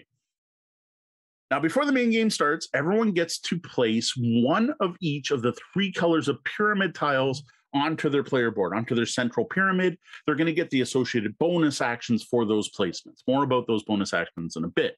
Once everyone's placed their three tiles, you now start the game. Now that you're ready to play, each round, players have a choice of placing one to three of their action discs, or little round discs, onto one of the action spaces on the market board, which again is fit into three areas. Once you place it, you then decide to use that action to either build or influence. Those are the two different options. Now, the strength of that action is based on the number of discs in total on the spot after you place your disc. So action selection not only chooses what, but how much of an action is happening. Right. And a big part of this is watching how many discs are there and waiting for other players. You have this do I want to get there first or do I want to wait till someone else is gone? So when I go, I do more power or do I want to use three discs right away so no one can get in there? Now, at the start of each round, you're putting discs out on the spot. These are the bonus discs. And the first player to play there will get the bonus shown. Now, these include a bunch of things like getting an extra build or influence action, getting some points, increasing your power without needing extra discs, and so on. So there is a bit of a risk, or sorry, a, a, a rush to get those spots just to get those powers. Or again, do you hold back and wait till other people have taken them so that when you do take your action, has more power? Right. But overall, you know, easy enough. More discs is more good. Yes. so if you use all your discs on a couple big actions, you might have less actions overall, which could be bad.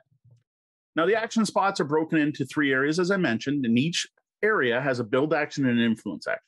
We're going to start with the building areas. So the building areas are construct a building, construct a temple, or construct your pyramid. The power determines how big a thing you can build or how many additional resources you have to pay to place them. So it's how big a building or how much additional resources to place temples or pyramid tiles. When temples or buildings are bought, they must be placed in the two districts that your architect can see. So basically, the board's divided into four. You have your architect standing on one of the sides. You can only build in the two quarters of the half of the board towards your architect. Nice little mechanism so you can't just place it any open slot on your board. Yes. Now, buildings, when placed, produce resources. Buildings make resources. They're going to make cubes that match the same color as the building, either wood, stone, or gold. The actual resources go on the board, which is kind of neat, and they go into spots orthogonally adjacent to the building place. So you kind of want to place your buildings so there's lots of room around them to get resources, and you don't want to group your buildings too close or be too close to the pyramid or be too close to the edge of the board, but then you want to make sure you have room for all your buildings. So that's a whole aspect of play. Now, temples don't give you resources, but rather cost them. So that's why you're making your resources to be able to get these temples out. Now, they don't do anything with their build, but are worth points during final scoring. You want your temples to match the uh, pyramid tiles you put into play. Now, also, when you build a temple, you get to take one of the face up temple tiles. These you can turn in later through one of the influence actions, which I'll get to in a second. Now, pyramid tiles are added to the big pyramid in the center of your board. Uh, you get bonuses for covering up certain spots, which can be can be give you extra actions and stuff like that again. And they are worth points at the end of the game. But again, these painted pyramid tiles have to match pyramids in the same district. So you're trying to pair up your pyramid with your temples. So you need to give up some of that instant gratification during the game for your end game rewards. Correct. Now, when placing buildings and temples, you're also looking for masks. Uh, this is the most abstract part of the game that doesn't really make any sense, and I can't really tie to any real theme. Every player board is a grid, right? And some of the spots are covered by mask symbols that are in patterns. Anytime when placing a tile, no, not resources, an actual tile on your board, if you cover up an entire mask pattern, you get a tile that matches the pattern. And these are worth descending points. Like the first person to fill in purple gets nine points, the second person gets seven, the third gets six, and so on.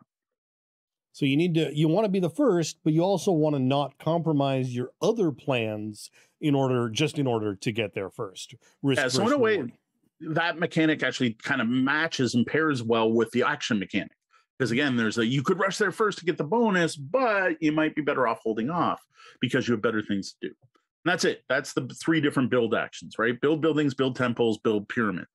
Next are the influence actions. The first one lets you produce resources. Every one of your buildings in play produces one cube of resource that has to be placed on the map. Note you have to have somewhere to put it. You then get to build two single square wood or stone buildings. So it's another way to get more buildings out. And of course, if you don't have resources, that limits everything else you might yes. want to do in the game. Next influence action lets you make an offering to the gods. You turn in one of those temple tiles. Remember, every time you build a temple, you get to choose a temple tile. You get what it says on the tile. Now, there are a lot of these, and the stack actually will rotate through multiple times. And when you use it, you put it at the bottom of the stack. So there is some memory element there. And most of these will give you points for trading in resources or having certain things in play. Like you must have three gold buildings in play if you do get five points. Now, other tiles include getting building or temples for free, where you get to build them without having to spend resources, or bonus build or influence actions. And when you get a bonus build action, you can pick any of the three builds. If you get a bonus influence, you get to pick any of the three influence actions. And you get points from any of these as well. Influence with the gods and or priests is always vital in so many cultures. Yeah, this is one of the carryovers that's in pretty much all of these T games. Now, the last influence option is gain favor. You move up a track. You get some points, and then you get the option to swap any one of those temple tiles you've collected with a face up one. This can be useful because you might have had to take a temple tile that doesn't really fit where your strategy is going. You can swap it for one that does. So even in history, the bad stuff rolls down. You don't want to be stuck at the bottom of the period if you can make things better. now the round ends once every player has placed all of their action tokens, which can mean that different players end at different times. Then a new round begins. On a new round, your architect's going to walk around your city. They're going to rotate clockwise around your player board. So they're now looking at a different set of two districts. The bonus discs are re randomized, and the board is repopulated with buildings, temples, and pyramids based on the player count. Sun token moves forward towards the Eclipse token. And when they match, you now know that this next round you're going to play is the last round of the game, which is on the third round with three players or four rounds for all other player counts. Finally, and this is important, everyone now loses one of those action discs and it goes back in the box. This is important because it means the number of available actions for every player diminishes as the game goes on. That's right. Less, not more, as you go on. The mm-hmm. exact opposite of so many games. Now, at the end of the final round, there is a big final scoring phase where every player will score their pyramid that they've been building. These points, again, are based on having the right colored temples in the same district as a similarly colored pyramid tile, with pyramid tiles higher up scoring more points. Once everyone scored their pyramids, the player with most points wins. Plenty to do, but relatively straightforward as far as hobby games go. Now, the game also includes a solo mode where you play against the first founders. For the most part, this is a pretty typical AI with the two AI founder colors taking up action spots and removing buildings, temples, and tiles from the game instead of them taking a normal turn. And like many of these, they don't even score points. Now, what really sticks out here, though, is there are three tables that you roll on at the start of any solo game with an included D8 die. Now, these three tables give you three challenges you face during play. At the end of the game, after four rounds, it's always four, you must have completed all three challenges. If you've done that, you then look at your final score and subtract 80, and then there's a little chart that tells you how well you did based on that. That's nice and very video game like. We have hmm. talked mm. a lot about how some board games could really take advantage of some video game concepts, and here's one that has. So now that we've got a good idea of how to play Founders of Teotihuacan, how about you share your thoughts on this lighter Teotihuacan game? So, uh, really basic, simple. The the assuming the goal of the game, and I have to assume this is, is what it is, is to give gamers a much more accessible, lighter, easy to learn, and faster Teotihuacan game. If that's the case, which I have to assume it is, the designer and boards and dice accomplished exactly what they're setting out to do. That is what this is this is Founders of Teo is a significantly more approachable than its big brother. While I wouldn't go so far as to call this a gateway game, there's far too many options and choices and things you have to keep track of and ways to score. This definitely isn't a game that's going to appeal to the uh, gateway gamer, like a, someone who hasn't played hobby games before. But this is going to appeal to a lot more game groups than City of the Gods, which is honestly quite a monster of a game. So this is a stepping stone to cities, something to play first to learn? See, I don't think so because what's important to note is that despite the fact they're both called Teotihuacan, there's not a lot in common with both games besides the theme. Like, really, the only crossover is the fact both boxes say Teotihuacan, and there's the same theme of you're building the same city. Now, Boards and Dice did point out this is technically earlier in the time period. So if you did want to play it, I guess you get like a whole tournament feel of here's where we're planning the city, which is supposedly what this is about. Whereas the other game is about actually doing it and building it. So it's a kind of neat tie-in, but mechanically, I, well, I guess there could be an argument that your dice level up, and that's kind of like having more power. And the higher level your dice are, the more you get. I, I could be similar to spending more discs, I guess. I, I don't know. To me, that's a pretty big stretch. This is very much a standalone game with its own mechanics, its own gameplay, and really overall feel that is different to the original. Like due to that, I, it, they really shouldn't be judged based on the other game. And I almost wonder if naming it Tale to Teotihuacan was a mistake, as you can't help it. I can't help but compare these. They're both Teotihuacan games. As a reviewer, I feel like I'd be failing if I didn't compare the two, though really they are so different. It's interesting. I, I guess it really is just more about the Sun Temple and the location, Teotihuacan, as it is an iconic location yeah. Uh, it's a shame that it does allow for such confusion, however. I, my biggest concern is people picking this up thinking it's an expansion or not picking it up because they think it's an expansion. So, trying to do my best to look at this as a completely standalone game, which again, it is. We found a lot to like. Uh, I will say the components aren't great, but they're functional. there's nothing that doesn't work here. I'll admit I would have really liked some nice thick plastic. I don't know if they're plastic or bakelite. The mahjong like tiles while building my pyramid. I'm sure that would have upped the cost, so that's fair. This is definitely a cheaper game than the full game. Um, the one thing that is a bit of a problem is the amount of cardboard in this box that uh, needs to be separated once you start playing. This is a game where people are going to be looking to find third party box inserts, and I honestly don't blame them at all. Uh, the amount of components makes teardown and setup rather long for such a short game.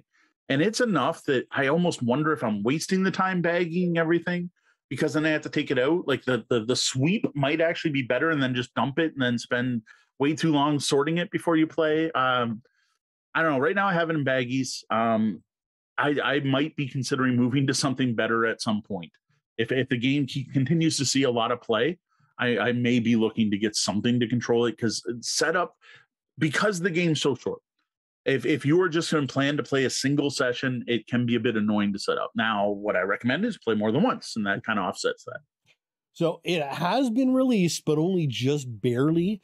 So I haven't seen any inserts out there for yeah. it yet, but I'm sure it's not going to take long. Yeah, I've already seen people with their own foam core inserts that they've come up with, so it's definitely it's definitely a thing.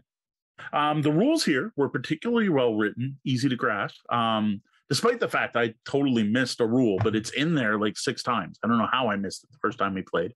First play is always extreme. That was us. Um, mechanics are easy enough to learn, uh, especially for anyone who has any experience, right? Any seasoned gamers are probably going to get all of the concepts in this really easy.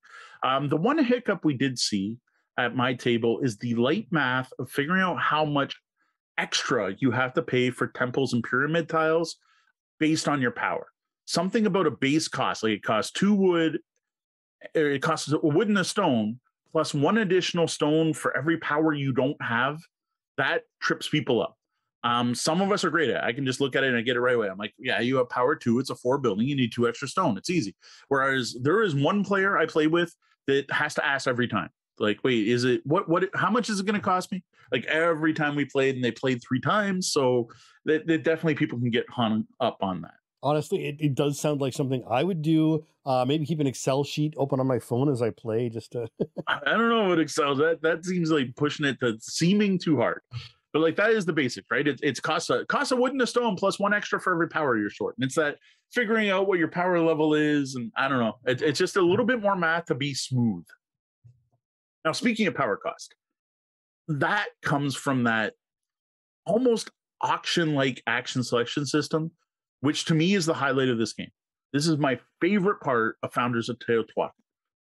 Uh, what makes it sound out stand out from other media Euro point salad games? I really dig the system of spending one to three actions, basically, to take your action and then getting a benefit based on how many tokens you used. I really dig that. I like this mechanic enough that I don't know if it needs to be this designer or another one. I want to see another game use this. At least a couple other games do something with this. I really like this system. I, I feel like I've seen it before, but again, without having played, it's hard to say. Maybe just not in such a restricted manner. Uh, it hurts a bit more when you've got so few resources to work with each round. Yeah, there, there. We did notice that the first few games were like all in three, you can't go there. And then later games, they're like, oh, and I ran out of actions and I can't do anything. And later games, people were being much more cautious, tending to spend only one per action. And then there's that whole benefit of if I sit back and I can wait for other people to go, I get that benefit. And I, I just I like that decision space. Um, and it honestly flowed from wow, this seems too powerful to oh no, this is too powerful to no, actually, I think it's pretty balanced. Now, another thing I really liked was the way resource generation and spending works. I, I love the fact it was all physical on your grid. Like you place a building, you physically put your resources around that building, which means you have to leave room for them. And boards get crowded in the later rounds. And then you get those tiles where like it wants you to put out six green buildings, but if I put out six green buildings, I'm not going to have room. And I also like that spending resources actually meant taking them off your board. And again, it can matter where you take them from. Like make sure you split it up between your buildings so that that popular um, resource generation action is actually useful. And then all of this adds a rather high level of pre planning and strategy to the game, both in what buildings you want to build, where you want to build them. And added to that, there's the architect, where you can only build in certain areas. And when you play a game with anything but three players, your architect's going to be on each side of your board once, which means you're going to be able to build in each district twice the entire game and realizing that, knowing that last round your architect's going to come back around and you're going to be able to build in that first zone again is a big part of the game. You literally do have to think four rounds ahead. It really is much more spatial game mm-hmm. uh, that I think is easy to get across in a review like this, and you know, discussing it like this. So do make sure you hit up the blog after this to get a more mm. in-depth look at the game, if what we've talked about here has piqued your interest. Yeah, I'm, I'm going to get into all the different actions and what the buildings do and how your power affects them. I didn't want to do that for a video. So we do go into a lot more detail on the blog. Now, one problem with a high focus on strategy and planning is there really isn't a big tactical aspect to this game. While there is a decent amount of player interaction, especially with the timing of playing your action discs, and there can definitely be some hate drafting. As I mentioned earlier, there's only certain numbers of the buildings in play. And if you really need a blue temple to score and two players before you buy the two blue temples that are available, you're out of luck. Uh, the game at times, though, can feel like multiplayer solitaire. And this is a common problem in many Mathy Euro games. So I can't say I'm surprised, but at least there is some interaction, yeah. which is better than some other games. Now, I will say the first play does very much feel like multiplayer solitaire because you haven't grasped all the concepts in the game and you're generally just looking at your own board. But you'll notice the more you play, the more interaction will happen, especially that hate drafting is going to start coming out. It's going to be like, oh, they're going for this. Make sure to stop them. Now, one aspect of play that has had mixed results with the players I played with, though, is the scoring system. Uh, during the game, this is very much a point salad. So everything you earn you track right away on your board, which is kind of unique because like you're collecting mask tiles with numbers on them and you're putting things over things that have very clear point spots on them. It, and the, especially the stuff you collect, it seems odd to add that in. That to me, most games you would add all that up at the end, but you actually track it as you're playing and you can earn a significant amount of points while playing the game, including possibly lapping the board before you've gotten to the end game scoring.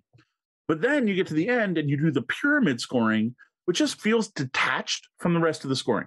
Here you're just you're looking, you're doing one district at a time and you're multiplying your pyramid colors to your temple colors.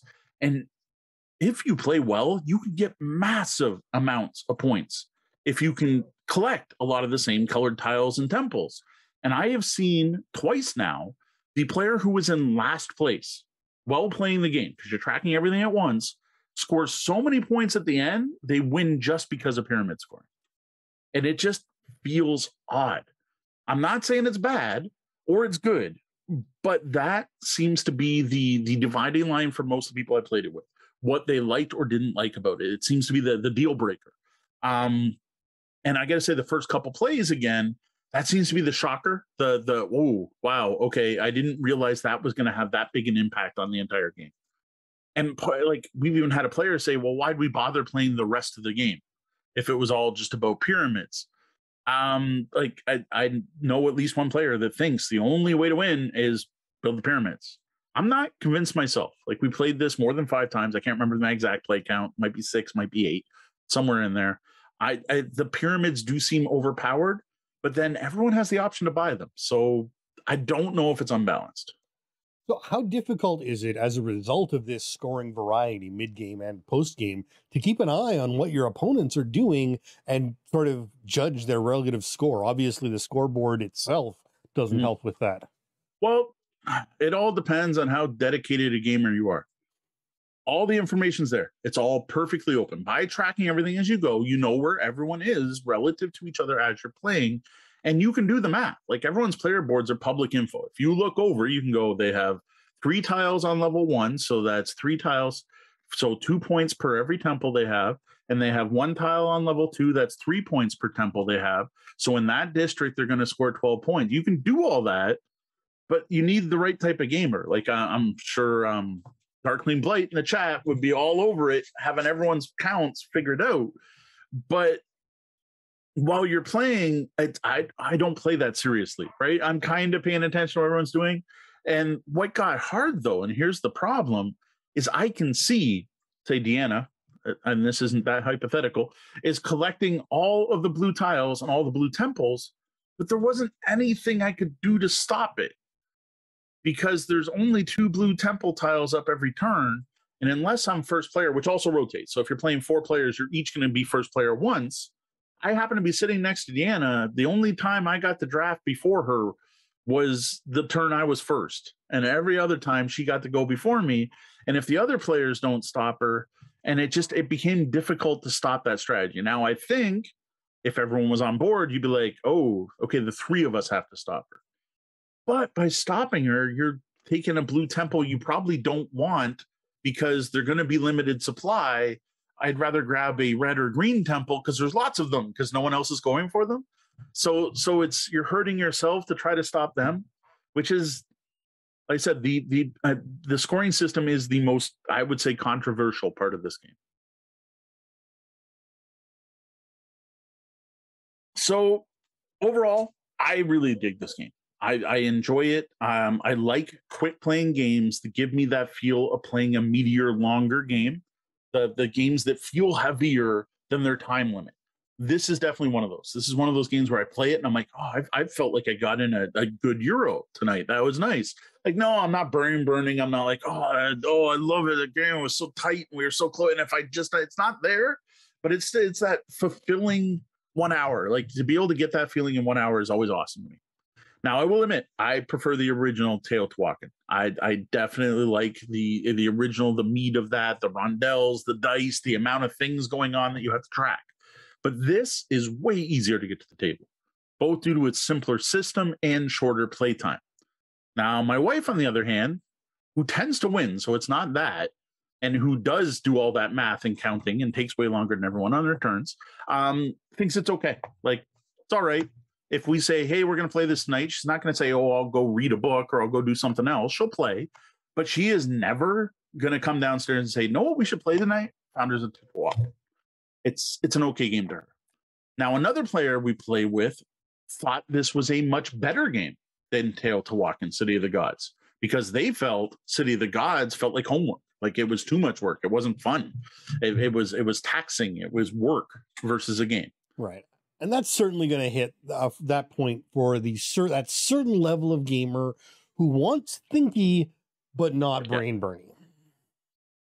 That's it too. Now, one of the things that Deanna really didn't like about this game, and I think is utterly brilliant, so we're we're totally on the different fence here, is the fact you get less actions every turn. The fact that, yeah, depending on the number of players, you either start with six or five discs. The start with five discs, that means you could t- possibly take five actions on your turn. Well, the next round you're down to four, then the three, then the two. The last turn of the game, you only get two discs. And if you want to put those together, you only get one action. And I thought this was brilliant because as the game goes on, there's way more AP. There's way more to think about. Again, you could count up everyone's board and figure out exactly where they're at before you draft a tile to figure out is it worth gaining 10 points for you to or instead stealing six from Deanna? What's better? What's what's going to win for me? And and if I take this cube, then this cube, you could figure all that out. And what's great is that gets offset by only having two actions. So in the beginning of the game, where it's pretty quick, you're like, oh, I'll take this action, then this action, then this action, then this action. And but the last round, you're like, oh, what am I going to do? Okay, I think I'm going to take that. And what I found happens is the time limit, the time for round one was about the same as round four, which I thought was brilliant. So as the complexity and depth of the game went up, and and the decision tree had branched all over the place, you only had two choices. When it was nice and it was easy, you had lots of choices. I loved it. Deanna hates it. She hated having less to do. She found it annoying at the end of the game. Like in most games, you build an engine, right? And in the last round, you want to run that big engine. Well, you can't. There's a, your engine had to have been built from the start, which again goes to that length of strategy in the game. So overall, oh, sorry, skipped one thing. Solo mode. I want to talk about that a bit. One more thing before I get to my final thoughts. I love the variable solo mode. I, am sure it's out there, but I haven't noticed it myself. The fact there are three different tables of eight goals for you, you have 512 different possible challenge combinations for solo play. I don't know anyone who's going to play this 512 times. You probably want to roll, but you could make a list of all the possible and cross them off as you played them. This is way cooler than your usual solo game of beat your high score over and over again. I love that concept. Indeed. This there's a huge thumbs up for this aspect of the game. And again, more board gamers take those take those themes and, and ideas from uh, the video game world and apply yep. them to your game just like this has. Overall, founders of Teotihuacan, I added that extra who, sorry, founders of Teotihuacan is a solid, very quick playing, mid-weight abstract tile-laying euro with a very interesting action selection mechanic that has surprising depth for a game of its length. While this is not is an expansion, a re-implementation, or a new edition of Teotihuacan City of the Gods. This is very much its own game, which should appeal to a broader range of game players. Through the reduced weight, game time, and complexity, may turn off fans of the original. I think this is going to appeal to more groups than the original did. For pretty much any group of gamers, though, for anyone who's listening right now, I personally think this is a try before you buy, which you can do on, I don't remember which tabletop simulator or one of those. You can play this digitally um, or try it out a local game store, go to a con, play a demo. Um, definitely watch an actual play before you grab this one due to just how different this is from City of the Gods, I can't even just say, hey, if you like the original, pick this up. Yeah, and sadly, while some restrictions remain, it's uh, still not as easy as it once was to try before you buy. Yeah. Uh, it will be interesting to see what is going to happen in the coming months and weeks and years with game stores and demo copies uh, which, which is where those digital tabletops are really coming in to fill the gap. I got to say, I don't like playing on them. It's, it's not the same. It's not the same. It's great for some games, but not all of them. And this is one I think I would struggle with this yeah, game. You want digital. the tactical. I, I, I honestly agree. I think I you need that. There's also nature. looking at there's also the visual. I mean, again, yes. we're stacking things. There's there's mm-hmm. a visual, spatial component to this game that is really hard to come across on like a, a board game arena or yep. you know one of those systems. Can't disagree with you. So gamers who I think will enjoy this game are players who dig resource management action selection combined with some special tile placement elements, like the, the restrictive tile placement. You can't just place things everywhere. In these aspects, founders of Teotihuacan really shines. Fans of Stefan Feld style point salad games may also find a lot to like here due to its near overwhelming number of scoring options while playing. Just don't get distracted by those and totally forget about the pyramid scoring while playing. So far, I've been trying to prove it that you can win without them, but it hasn't panned out. Work with the in game scoring, but play for the end game scoring. Now, what this is not, despite its quick 45 minute to an hour playtime, is a gateway game. There are multiple different mechanics at work here and layered scoring systems that I think make this a game for experienced hobby gamers.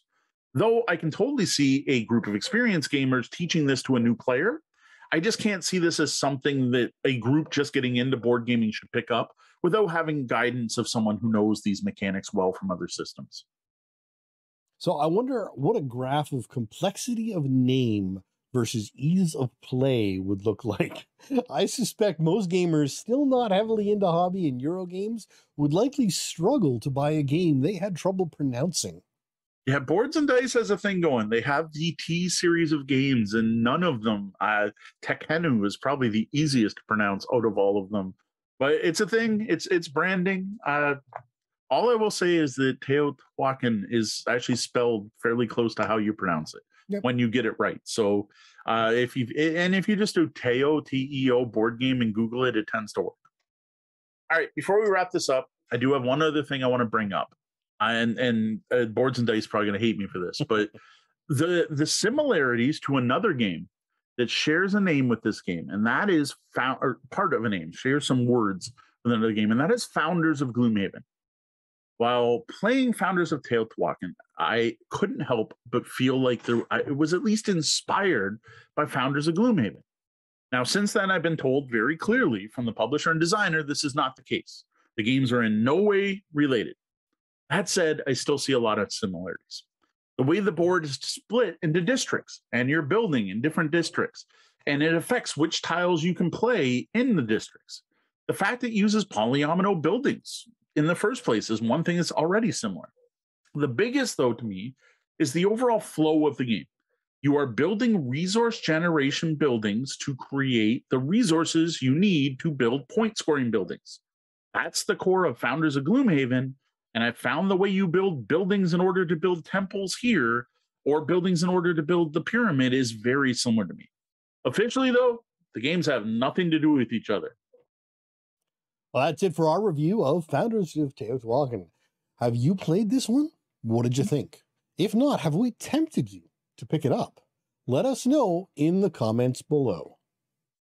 As mentioned earlier by Sean, I we also invite you to check out the written review of this tile laying game. It'll be live over at tabletopbellhop.com by the time this podcast hits your ears, where I'll be going into a lot more detail about the actual gameplay and how it works, as well as sharing some pics I snapped while playing. And now the Bellhop's Tabletop, where we look back at the games we played since last episode. Urged after that review. All right, number one is Downfall of Pompeii. This was my first time playing this game in years. This is this is we had to throw this in. This wasn't actually planned to counterbalance. We were all about the new hotness. This game is from 2004. This is not the new hotness. I played a shrink copy that Deanna managed to find at Princess Auto. Now, this is a Canadian auto parts store that somehow had bargain basement games. I I don't know. So Canadians, be sure to check your Princess Auto for board game sales now and then. You pointed out it wasn't the only game there too. Like she picked me up this one, but there were others. They have a they have a couple of sections where you it's always worth peeking your head in there just to see what the heck has managed to land on those specific shelves. Yeah, I, I they I, oh I don't know what that says. Discover. Oh, discover. discover. Discover unknown doesn't sound right. What is the actual name of that game? Uh, it's the one with the procedurally generated lands unknown. Is that it? Yes, Discover Lands Unknown. I got it just for the end. Discover Lands Unknown came from there as well. So there you go. Like I, and how are there still shrink copies of Downfall of Pompeii from Mayfair Games? No, what I the, version I have is the second printing. It is not the 2004 edition. It is a later printing, but it's not like a 2020 2019 printing either. Anyway, first time playing Downfall of Pompeii in years. I had played my friend Jamie's copy many years ago and thought it was neat. It was a it was a cool enough game, but I didn't feel the need to get it. Um, but it's I didn't have kids then for one. Uh, we sat down to play two players, Dan and I was enjoying it, and I was like, "Oh yeah, I remember this. This this this is the game. I, this is neat. Yeah, we're we're filling the city of Pompeii, and and once we've moved in our initial people, we start inviting our relatives to join us. Yep, yep, I remember this. Oh no, Vesuvius erupts. Oh, now we have to run and try to get out the gates. Totally dig it. I, I like the different phases of the game. Um, it, it, it's a neat game. There's a fiddly bit with setting up the cards, which I hate. I hate setting up the deck. Like it has the most complicated set up a deck of cards that I've ever read in any game, and I played a ton of um, trick taking games and stuff that have some weird rules. You you literally make seven piles of four then take the rest and take so many cards off. Then you shuffle in a card, and then you put another card on top, and then you take four of those decks and put like it's it's. I couldn't do it off the top of my head, and I've now played the game a couple times. Um, so that's it. You're you're you're moving in, you're bringing your relatives in, and then you're running. That's pretty much the game. Yep, that's uh, it's it's straightforward, but it's fun. now, then we got to the end of the game. So, one, you you you get so many people based on the player count. We took our people. We each had. I'm going to pick up a number off the top of my head. 13 people escape. We both had 13 people escape. Like, oh, what the heck happens now? And trust me, it felt tense. Like, like I didn't know we were both like, we're like, oh, get, get this guy, get this guy. We're like, okay. The tiebreaker is whoever has the least people in the volcano. Every time a person dies, you throw them in the volcano. If you're a proper gamer, you also go, ah, or whatever. You, you do your best Wilhelm scream. If you're an even better gamer, you put a tea light in the candle too, so it's glowing when you throw them in. But anyway, we haven't made that upgrade yet so we're like, but but that doesn't matter. Deanna's called it right away. She's like, that's not going to matter. And sure enough, we have the exact same because well, we started with the same number and we saved the same number, so the ones in the volcano would be the same. Like what the heck? Like how bad? Like this is from 2004. This was an Alea game. How would they not fix that in a second printing? That's that's certainly an odd one. When like when when when when I initially saw the tiebreaker was, oh, you know, we had the same number, the same number of people. In the, I was, I, I, I, had imagined in my head that there must be somewhere else that people can go. Oh. There must be some oh. other mechanic that takes players out of the game that isn't into your escape or volcano. Yeah, that's it. It's escape. The thing was, we tied on escape. Like Deanna could have had more people escape than I did, and she would have won the game straight up. Right. But we didn't. We played equally well. So there's another problem. Okay. Component count. So I play yellow. Deanna plays green. I can't remember. I don't think Deanna, I can't remember there's green. I think there's green, whatever. We sit down to play and we couldn't because there weren't enough yellow pieces. We're like, what? Yeah, there was no green, there was blue. The game does not include enough of all four colors. There are enough to play, but if you're playing two players, you can't play yellow. And I'm like, who does that? Like, how much did you save by not giving me five wooden cylinders? But you gave me a plastic volcano. like, instead of giving me a plastic volcano, give me a cardboard volcano and give me enough dang cylinders. Like, that just like, I don't know if Mayfair is still printing this, but come on. and to be honest, I own one other game by them called Patrician that did the same thing. But Patrician, first thing in the rule book was what colors to use with what player count. That's not in the rules. That is, it's, uh, that's like unforgivable. Like, come on. Like Although, in, let's be honest, if yellow, if it wasn't yellow, if it had been blue where there hadn't been enough cubes, you guys wouldn't even know. That's true. Until we went to play with four players and you had to count them out, and we go, wait, there's less of this one? I, I, I'm just bizarre, like utterly bizarre. So yeah, first play of Downfall of Pompeii, despite loving it years ago, did not go well. Next up, Pile of Shame. So that first one was Pile of Shame, right? I just got the game. got it. I think it was my birthday. Might have been Christmas. I think it was birthday. Um, next was Ex Libris. So first play off the Self of Shame. Man, I should have got this off. This is one of those games you play it and you're like, why didn't I play this before? Like it's been sitting downstairs for a while and I will say why. The the reason I didn't because it was intimidating. Like there's a ton of stuff. There's like uh, I don't even know nine, nine to twelve different player boards, and then there's like twenty or thirty different worker placement boards. There's three decks of cards that you stack together. Like it's there. There's a rule book that is significantly thick for a board game.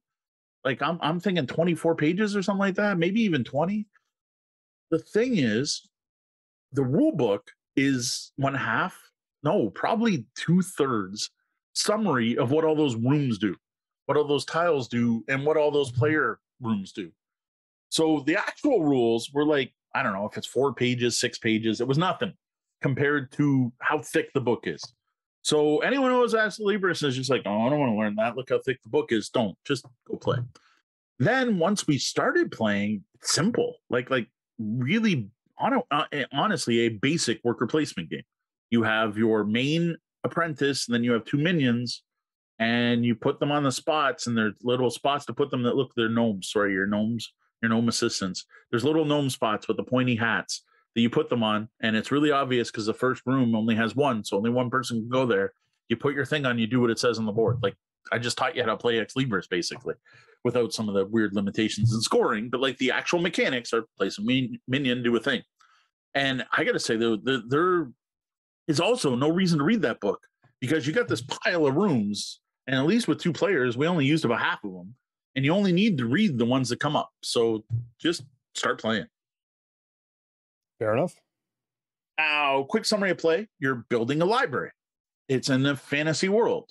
Cool, right? You're using minions take actions. When it starts, the only options available are your home board, which all you can do there is shelve a book or draw cards, which is basically go shopping for books. So you either set up a section of your library, you go shopping, and then the other option is this thing to draw cards, and it's based on how many minions you play, and that's it. But then at the end of the round, new build, new new rooms, I think there are, or new buildings come into play, and then that next round, you now have the the original room and two more to choose from. So it's it slowly grows, which is really neat. And then at the end of the round, I thought this was a brilliant mechanic I'd never seen in a worker placement game before. These are numbered according to power. So all these randomized rooms are number one to whatever, 20 or whatever it is. The lowest play building, so the the least powerful building out of the two that showed up randomly, stays in play and becomes permanent for the rest of the game. And the other one goes away. And I just I thought that was really neat. And the next round, another building, two buildings come up. You can already use the permanents. At the end of the round, one of those goes away and one stays in play forever. That is such a neat worker placement mechanic.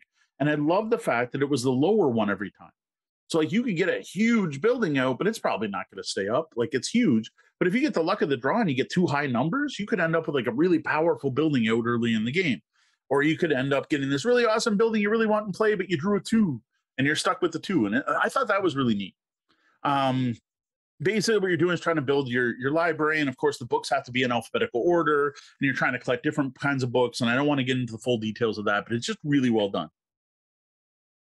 Now there are also lots of different player boards. Like this plays four players. So you expect like four to eight player boards, and there's like 12. And every player board's asymmetric. It was really neat because I played a wizard who could shift his shell the shelves, Deanna played a gelatinous cube, which had the coolest meeple I've ever seen in a game. It's it's literally a little gelatinous cube thing. I, I actually was wondering what it was when we opened the box. All the rest are wooden meeple, and there's this little plastic gelatinous cube. Um, her power wasn't as good. It had a thing where if I went where the gelatinous cube was, I got stuck in it and had to give her a card. Well, I just didn't go where she was. She thought the wizard was overpowered versus the cube, which may have been true with only player two players. We only played two players. Um, played fine, two players, unlike the other game we played the same night. I really dig this. I, I think you would like this game. Like, these just the whole book theme. I'm sure you're probably already sold. Yep, yep, no, absolutely. Next, we played the through. I, I want to say the second mission of Star Trek Unlock, but it whoa, whoa, ends whoa, up. Whoa, whoa, whoa, whoa, whoa! What? You're just insulted half the sci-fi fans in the world. What did I say? You said Star Trek. Oh, well, maybe there is a Star Trek Unlock. They're both the same thing, right? There. Now I've offended the rest of them. All right. So next we played through our second mission of Star Wars Unlock. Star Wars Unlock. is the only one that's out there. I would love a Star Trek Unlock, to be honest. That'd be great. Set it in any series. That'd be good. Though the original series would be the most fun. Um, so we played through our second mission. This was the entire family. So we played with all the kids. We actually invited Dee's mom to play as well. Um, I thought Holly was going to jump in for a bitch, but she did jump in right at the end. Um, I'd still really dig the unlock system, which is kind of neat. Like I just the way it works. And I gotta say, I'm fascinated now by all these different puzzle escape room games. Like just the way the exit games work, where it's all about figuring out the clues and like literally tearing stuff apart and folding things and honestly lighting things on fire for one of them. Like there's a lot going on in those versus say the coded chronicle system like the goonies which we reviewed last week where it's all about combining your individual character skills to get four digit codes that you look up in books and read that gives you kind of a which way thing. Like there was just so many different interesting things going on with escape room games. Whereas this one is very app based. It's you have a single deck of cards and you have an app, and that's it. And you don't destroy, you don't ruin anything, and you have a card in front of you and need to figure out what to do. And most of it is just finding numbers on that card that gives you more cards to draw. But then there's going to be other things you interact with the app and everything. And I'm just fascinated by all these different varieties of ways to do that escape room in a box style game. No, totally fair. Now, one thing I didn't realize is ends up we've been playing them out of order. So at first, I was surprised that this was significantly easier than the first one. And I'm like, what? I thought they were supposed to increase in difficulty. So here's a pro tip for anyone who picks up Star Wars Unlock. The order on the box cover is not the order of difficulty. The order of the decks in the box is the order of difficulty, which does not match the cover. So I saw the cover, and the cover shows the Tauntaun, the Hoth one. Then it shows a Starfight, and then it shows something with the New Order. It's the new newest series. And I'm like, what? I just assumed the Tauntauns first. Like that's how they're presented on the box. And instead, they went with graphic look or something. So this one is easier. So it's interesting to know that um, we did the more difficult one first, which was more difficult. It was um, we didn't do as well. We we got way more stuck in the first one, um, and we actually had to use a hint the last time. Now I'm not trying to say this was easy, but this was not as hard as the other one. Now overall, um, I recommend it. Uh, it, it's good. The, the the series is good. Um, there were a couple issues. The the first is the problem of playing with more people. So we even have people in the chat now talking about if, if Holly had joined us. The problem is they're smaller than tarot size cards, and it's just a deck of cards and just an app on your phone. I guess you could put the app on a tablet, but it's meant for one person to interface. And it's just not easy to share this game. Whereas like the Coded Chronicles, everyone grab a book. You definitely are keeping everyone interested, but you can't really have three people trying to find the hidden number on the code cylinder. Like it just you can't. You can pass it around. And we had way too much of let me see it. Let me see it. Can I see that now? Are you done with that yet? Like it was almost fighting over the cards. Uh, the kids in particular wanted to be the first to look at a card to hopefully see the thing. And after, you know, a millisecond went by, the other kids like, obviously you can't see it. Let me see it. So that was a bit of an issue. And the app integration, which I'm not even going to get into the whole why app integration may be bad. Just don't let this sit on your shelf too long, is all, all I'll say about that. You do get to do cool things. And some of it's really neat. Like there was an awesome way that we got to basically role play interacting with a droid, asking it questions to solve a puzzle. And that was brilliant. That's like, it's not a spoiler because you, the basic plot is save your droid and get out. So that is really well done. But only one person gets to interact with that app. And the person interacting with that app, if they don't understand what you're supposed to do, can be a problem. So while the app's cool, it can be an issue. And I mentioned this when we played the first part. And when I get to my final review, this is going to be my biggest complaint about this game. In the first game, we took a couple penalties by not doing things the way the app wanted us to or not understanding how to use the app properly. And this happened again due to fumbling the interaction, fumbling with the interface of the UI. We had the right answer, but fast fingered it and another time hit the wrong button and took penalties. Now, the whole thing is this is a time game. You have one hour to complete all of them. They, there's a one hour time limit. And once you take the penalty, it's done. Like it just, man, and there's your one minute penalty, two minute penalty, depending on what you did wrong. And I got to say, I wish this app had a, I didn't mean to do that button. And I get it. There, there's people out there, they're going to cheat. They're going to be like, oh, no, wait, I didn't enter the wrong code.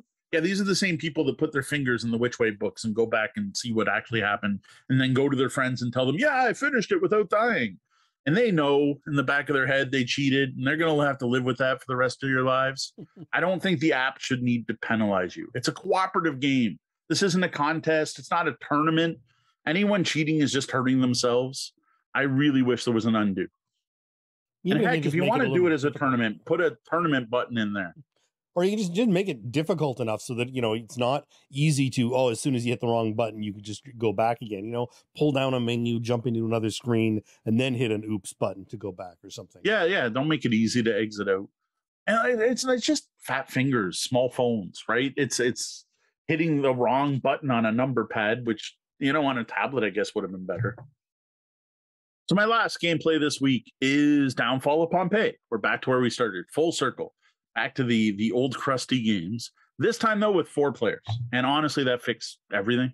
Um, that there's just enough components in all four colors to play four players. You do have to take some out of one, or, or no, you don't take any out. You use all of them, uh, whatever it is. There are just enough components playing four play. You have to pull them out of the colors, certain colors. Uh, played great. Um, it, it works, right? Uh, my mother-in-law and oldest daughter really enjoyed it. Gwen in particular really liked it. She asked if we can play that again. Um, none of the problems, none of the two player problems. Yeah. Now, it, it, it's another case, and we've complained about this before. This is not a two to four player game. This is a three to four player game, and I really wish that's what said on the box. You know what, publishers, we get that you're trying to sell to a wider market, but you know what? If you don't anger your clients, you'll sell more games. So put the right numbers on there. Yeah. Don't try and squeeze another count in there just to try and make more people buy it. It just ends up upsetting fans. Oh, it's true. And yeah, I get it. You want to control all the market. There's plenty of publishers and plenty of games. Now with 6,000 games a year coming out, let me go play a two player game I'll enjoy as a two player game. Don't waste my time with a three to four player game that it didn't have a variant. Maybe it needed one. Maybe I I, I bet you because the game's from 2004. If I go on Board Game Geek, I can find a two player variant that makes the game work. but I shouldn't have to do that. So yes, I, am going to swap earlier on my my complaints about the game. Pick it up. It's a great game. Just make sure you have three to four players. Don't pick it up if you plan on playing two. And I totally next time I, we don't go shopping anymore. But if, if it was normal times, I, I probably already would have hated Dollarama just to get a flickering tea light because it, that really is needed. That needs to sit in the box with the game. So anytime we play it, we'll pull it out. Uh, kids are already asking to play it again, so it, it's a win that way. I may pull it out this weekend with Tori and Kat just because they've never played it. it. It's solid. I, I'm actually shocked by how fun a game from 2004 is. And I will note this is family weight. You could play this with kids as long as they're cool with the theme of volcanoes erupting and people getting killed by pyroclastic flows you can then go watch a documentary on Pompeii and show them why why this the terrible thing happened. so if you're okay with the fact you're gamifying what was pretty much a, a cataclysmic event, this can be played by anyone. Fair enough. There's even a family variant on the uh, Board Game Geek page. See, I told you there's probably variants that make it. It's old enough that people there weren't enough games out, so people had to like modify the games they had to make them work better instead of just moving on to another game. So, how about a look ahead? What do you have planned for the coming weeks? Uh, so I did confirm today. My notes say I think, though I haven't confirmed, we're gaming with KTOR. That has been confirmed. Uh, we got KTOR coming over. Um, besides getting in at least one game of Charterstone, we need to get Charterstone finished. I I missed out on reviewing another Stonemaier game because we haven't finished yet. Note to reviewers: Remember, if you sign up for a legacy game, you got to finish the legacy game. It's going to take a while. I, I'm not actually all that upset because we're we're enjoying Charterstone. Um, I we're going to play at least one Charterstone. I think we're going to do the same thing as last time we're here and start with that. That way we make sure to get it in. Um, we have three more to go 10, 11, and 12, and then Charterstone is done. I really want to play Ex Libris again uh, and show it off because I think, again, they'll dig it. It's a theme that I think they will enjoy. And I'm tempted to play Pompeii with them. Um, and I think I want to talk to them about possibly um, this goes back to last week's AMA. Everyone, what legacy game are you going to play when you finish Charterstone? I'm thinking that legacy game might be an RPG. Uh, that might be our chance to play the One Ring. But I want to talk to them about it because I kind of want my kids to play. So I'm thinking like maybe if we can start an earlier night, or you know, we only play for two hours. Like they get here six six thirty. Maybe we finish eating by seven. We play for two hours, and my kids go still get to go to bed and calm down at nine. So it might be some short sessions, but that's something we'll be talking about on Friday. And I am sure if we do start playing the One Ring, we'll be talking about it here, even though we'll be using dice that don't read quite right. uh, oh, an update on that. Not till the summer at the earliest for replacements. So they do not have any, they have to be printed. So I got an email actually earlier saying that it will be at, at the earliest summer. All right. now, a quick shout out and a thank you to some of our VIP guests, our Patreon backers. We greatly appreciate their support. John P. Kelly of the excellent Gaming and BS podcast. Thank you. Andrew Dacey. Thank you, Andrew. Brian Van Beek. Thank you, Brian. Oh, we called out the wrong Brian this week. Diane Tuzano. Thanks, Ma. The Misdirected Mark podcast, talking gaming and game mastering live every Tuesday night. Well, that was the double bell. That means our shifts are coming to an end and we're going to have to lock those front doors. Though the doors to the lobby are closed, you can always find us all over the web as Tabletop Bellhop, one word. You can visit our website at tabletopbellhop.com, find our podcasts on your podcatcher of choice, and sign up for our newsletter at newsletter. No, we can't sign up at newsletter.tabletop. Uh, technically, you can. You, you technically can, but you end up on our old newsletter list, which we then have to go compare and port you over to the other one. So it works, but we're working on it. It'll get done at some point. It's kind of low on the priority list. Links down below. If you like the content we're providing would like to support our continued efforts, and going back to earlier in the show, if you want access to our private Discord, all you got to do is go to patreon.com dot patreon.com slash tabletop bellhop and support at any level and we'll get you in on that discord so you can hear our hot takes or are, are somewhat negative. No, it's it's a good place. It, it's not a lot of talking, but we share like, hey, check this out. Look at what we're interested in. What do you think of this? We get a lot of uh, hype going in there, and I got a couple feeds coming in with Board Game Geek news and stuff like that. Would love to see more activity there, and you can help make that happen. Well, that wraps up the time we have for the show tonight. For the lobbyists, thanks for joining us. Be sure to stick around and join us in the Penthouse Suite for the after show, and stop by YouTube Sundays for brunch. For Tabletop Bellhop Gaming Podcast, I'm Sean. And I'm Moe. Thank you. And game, game on. on.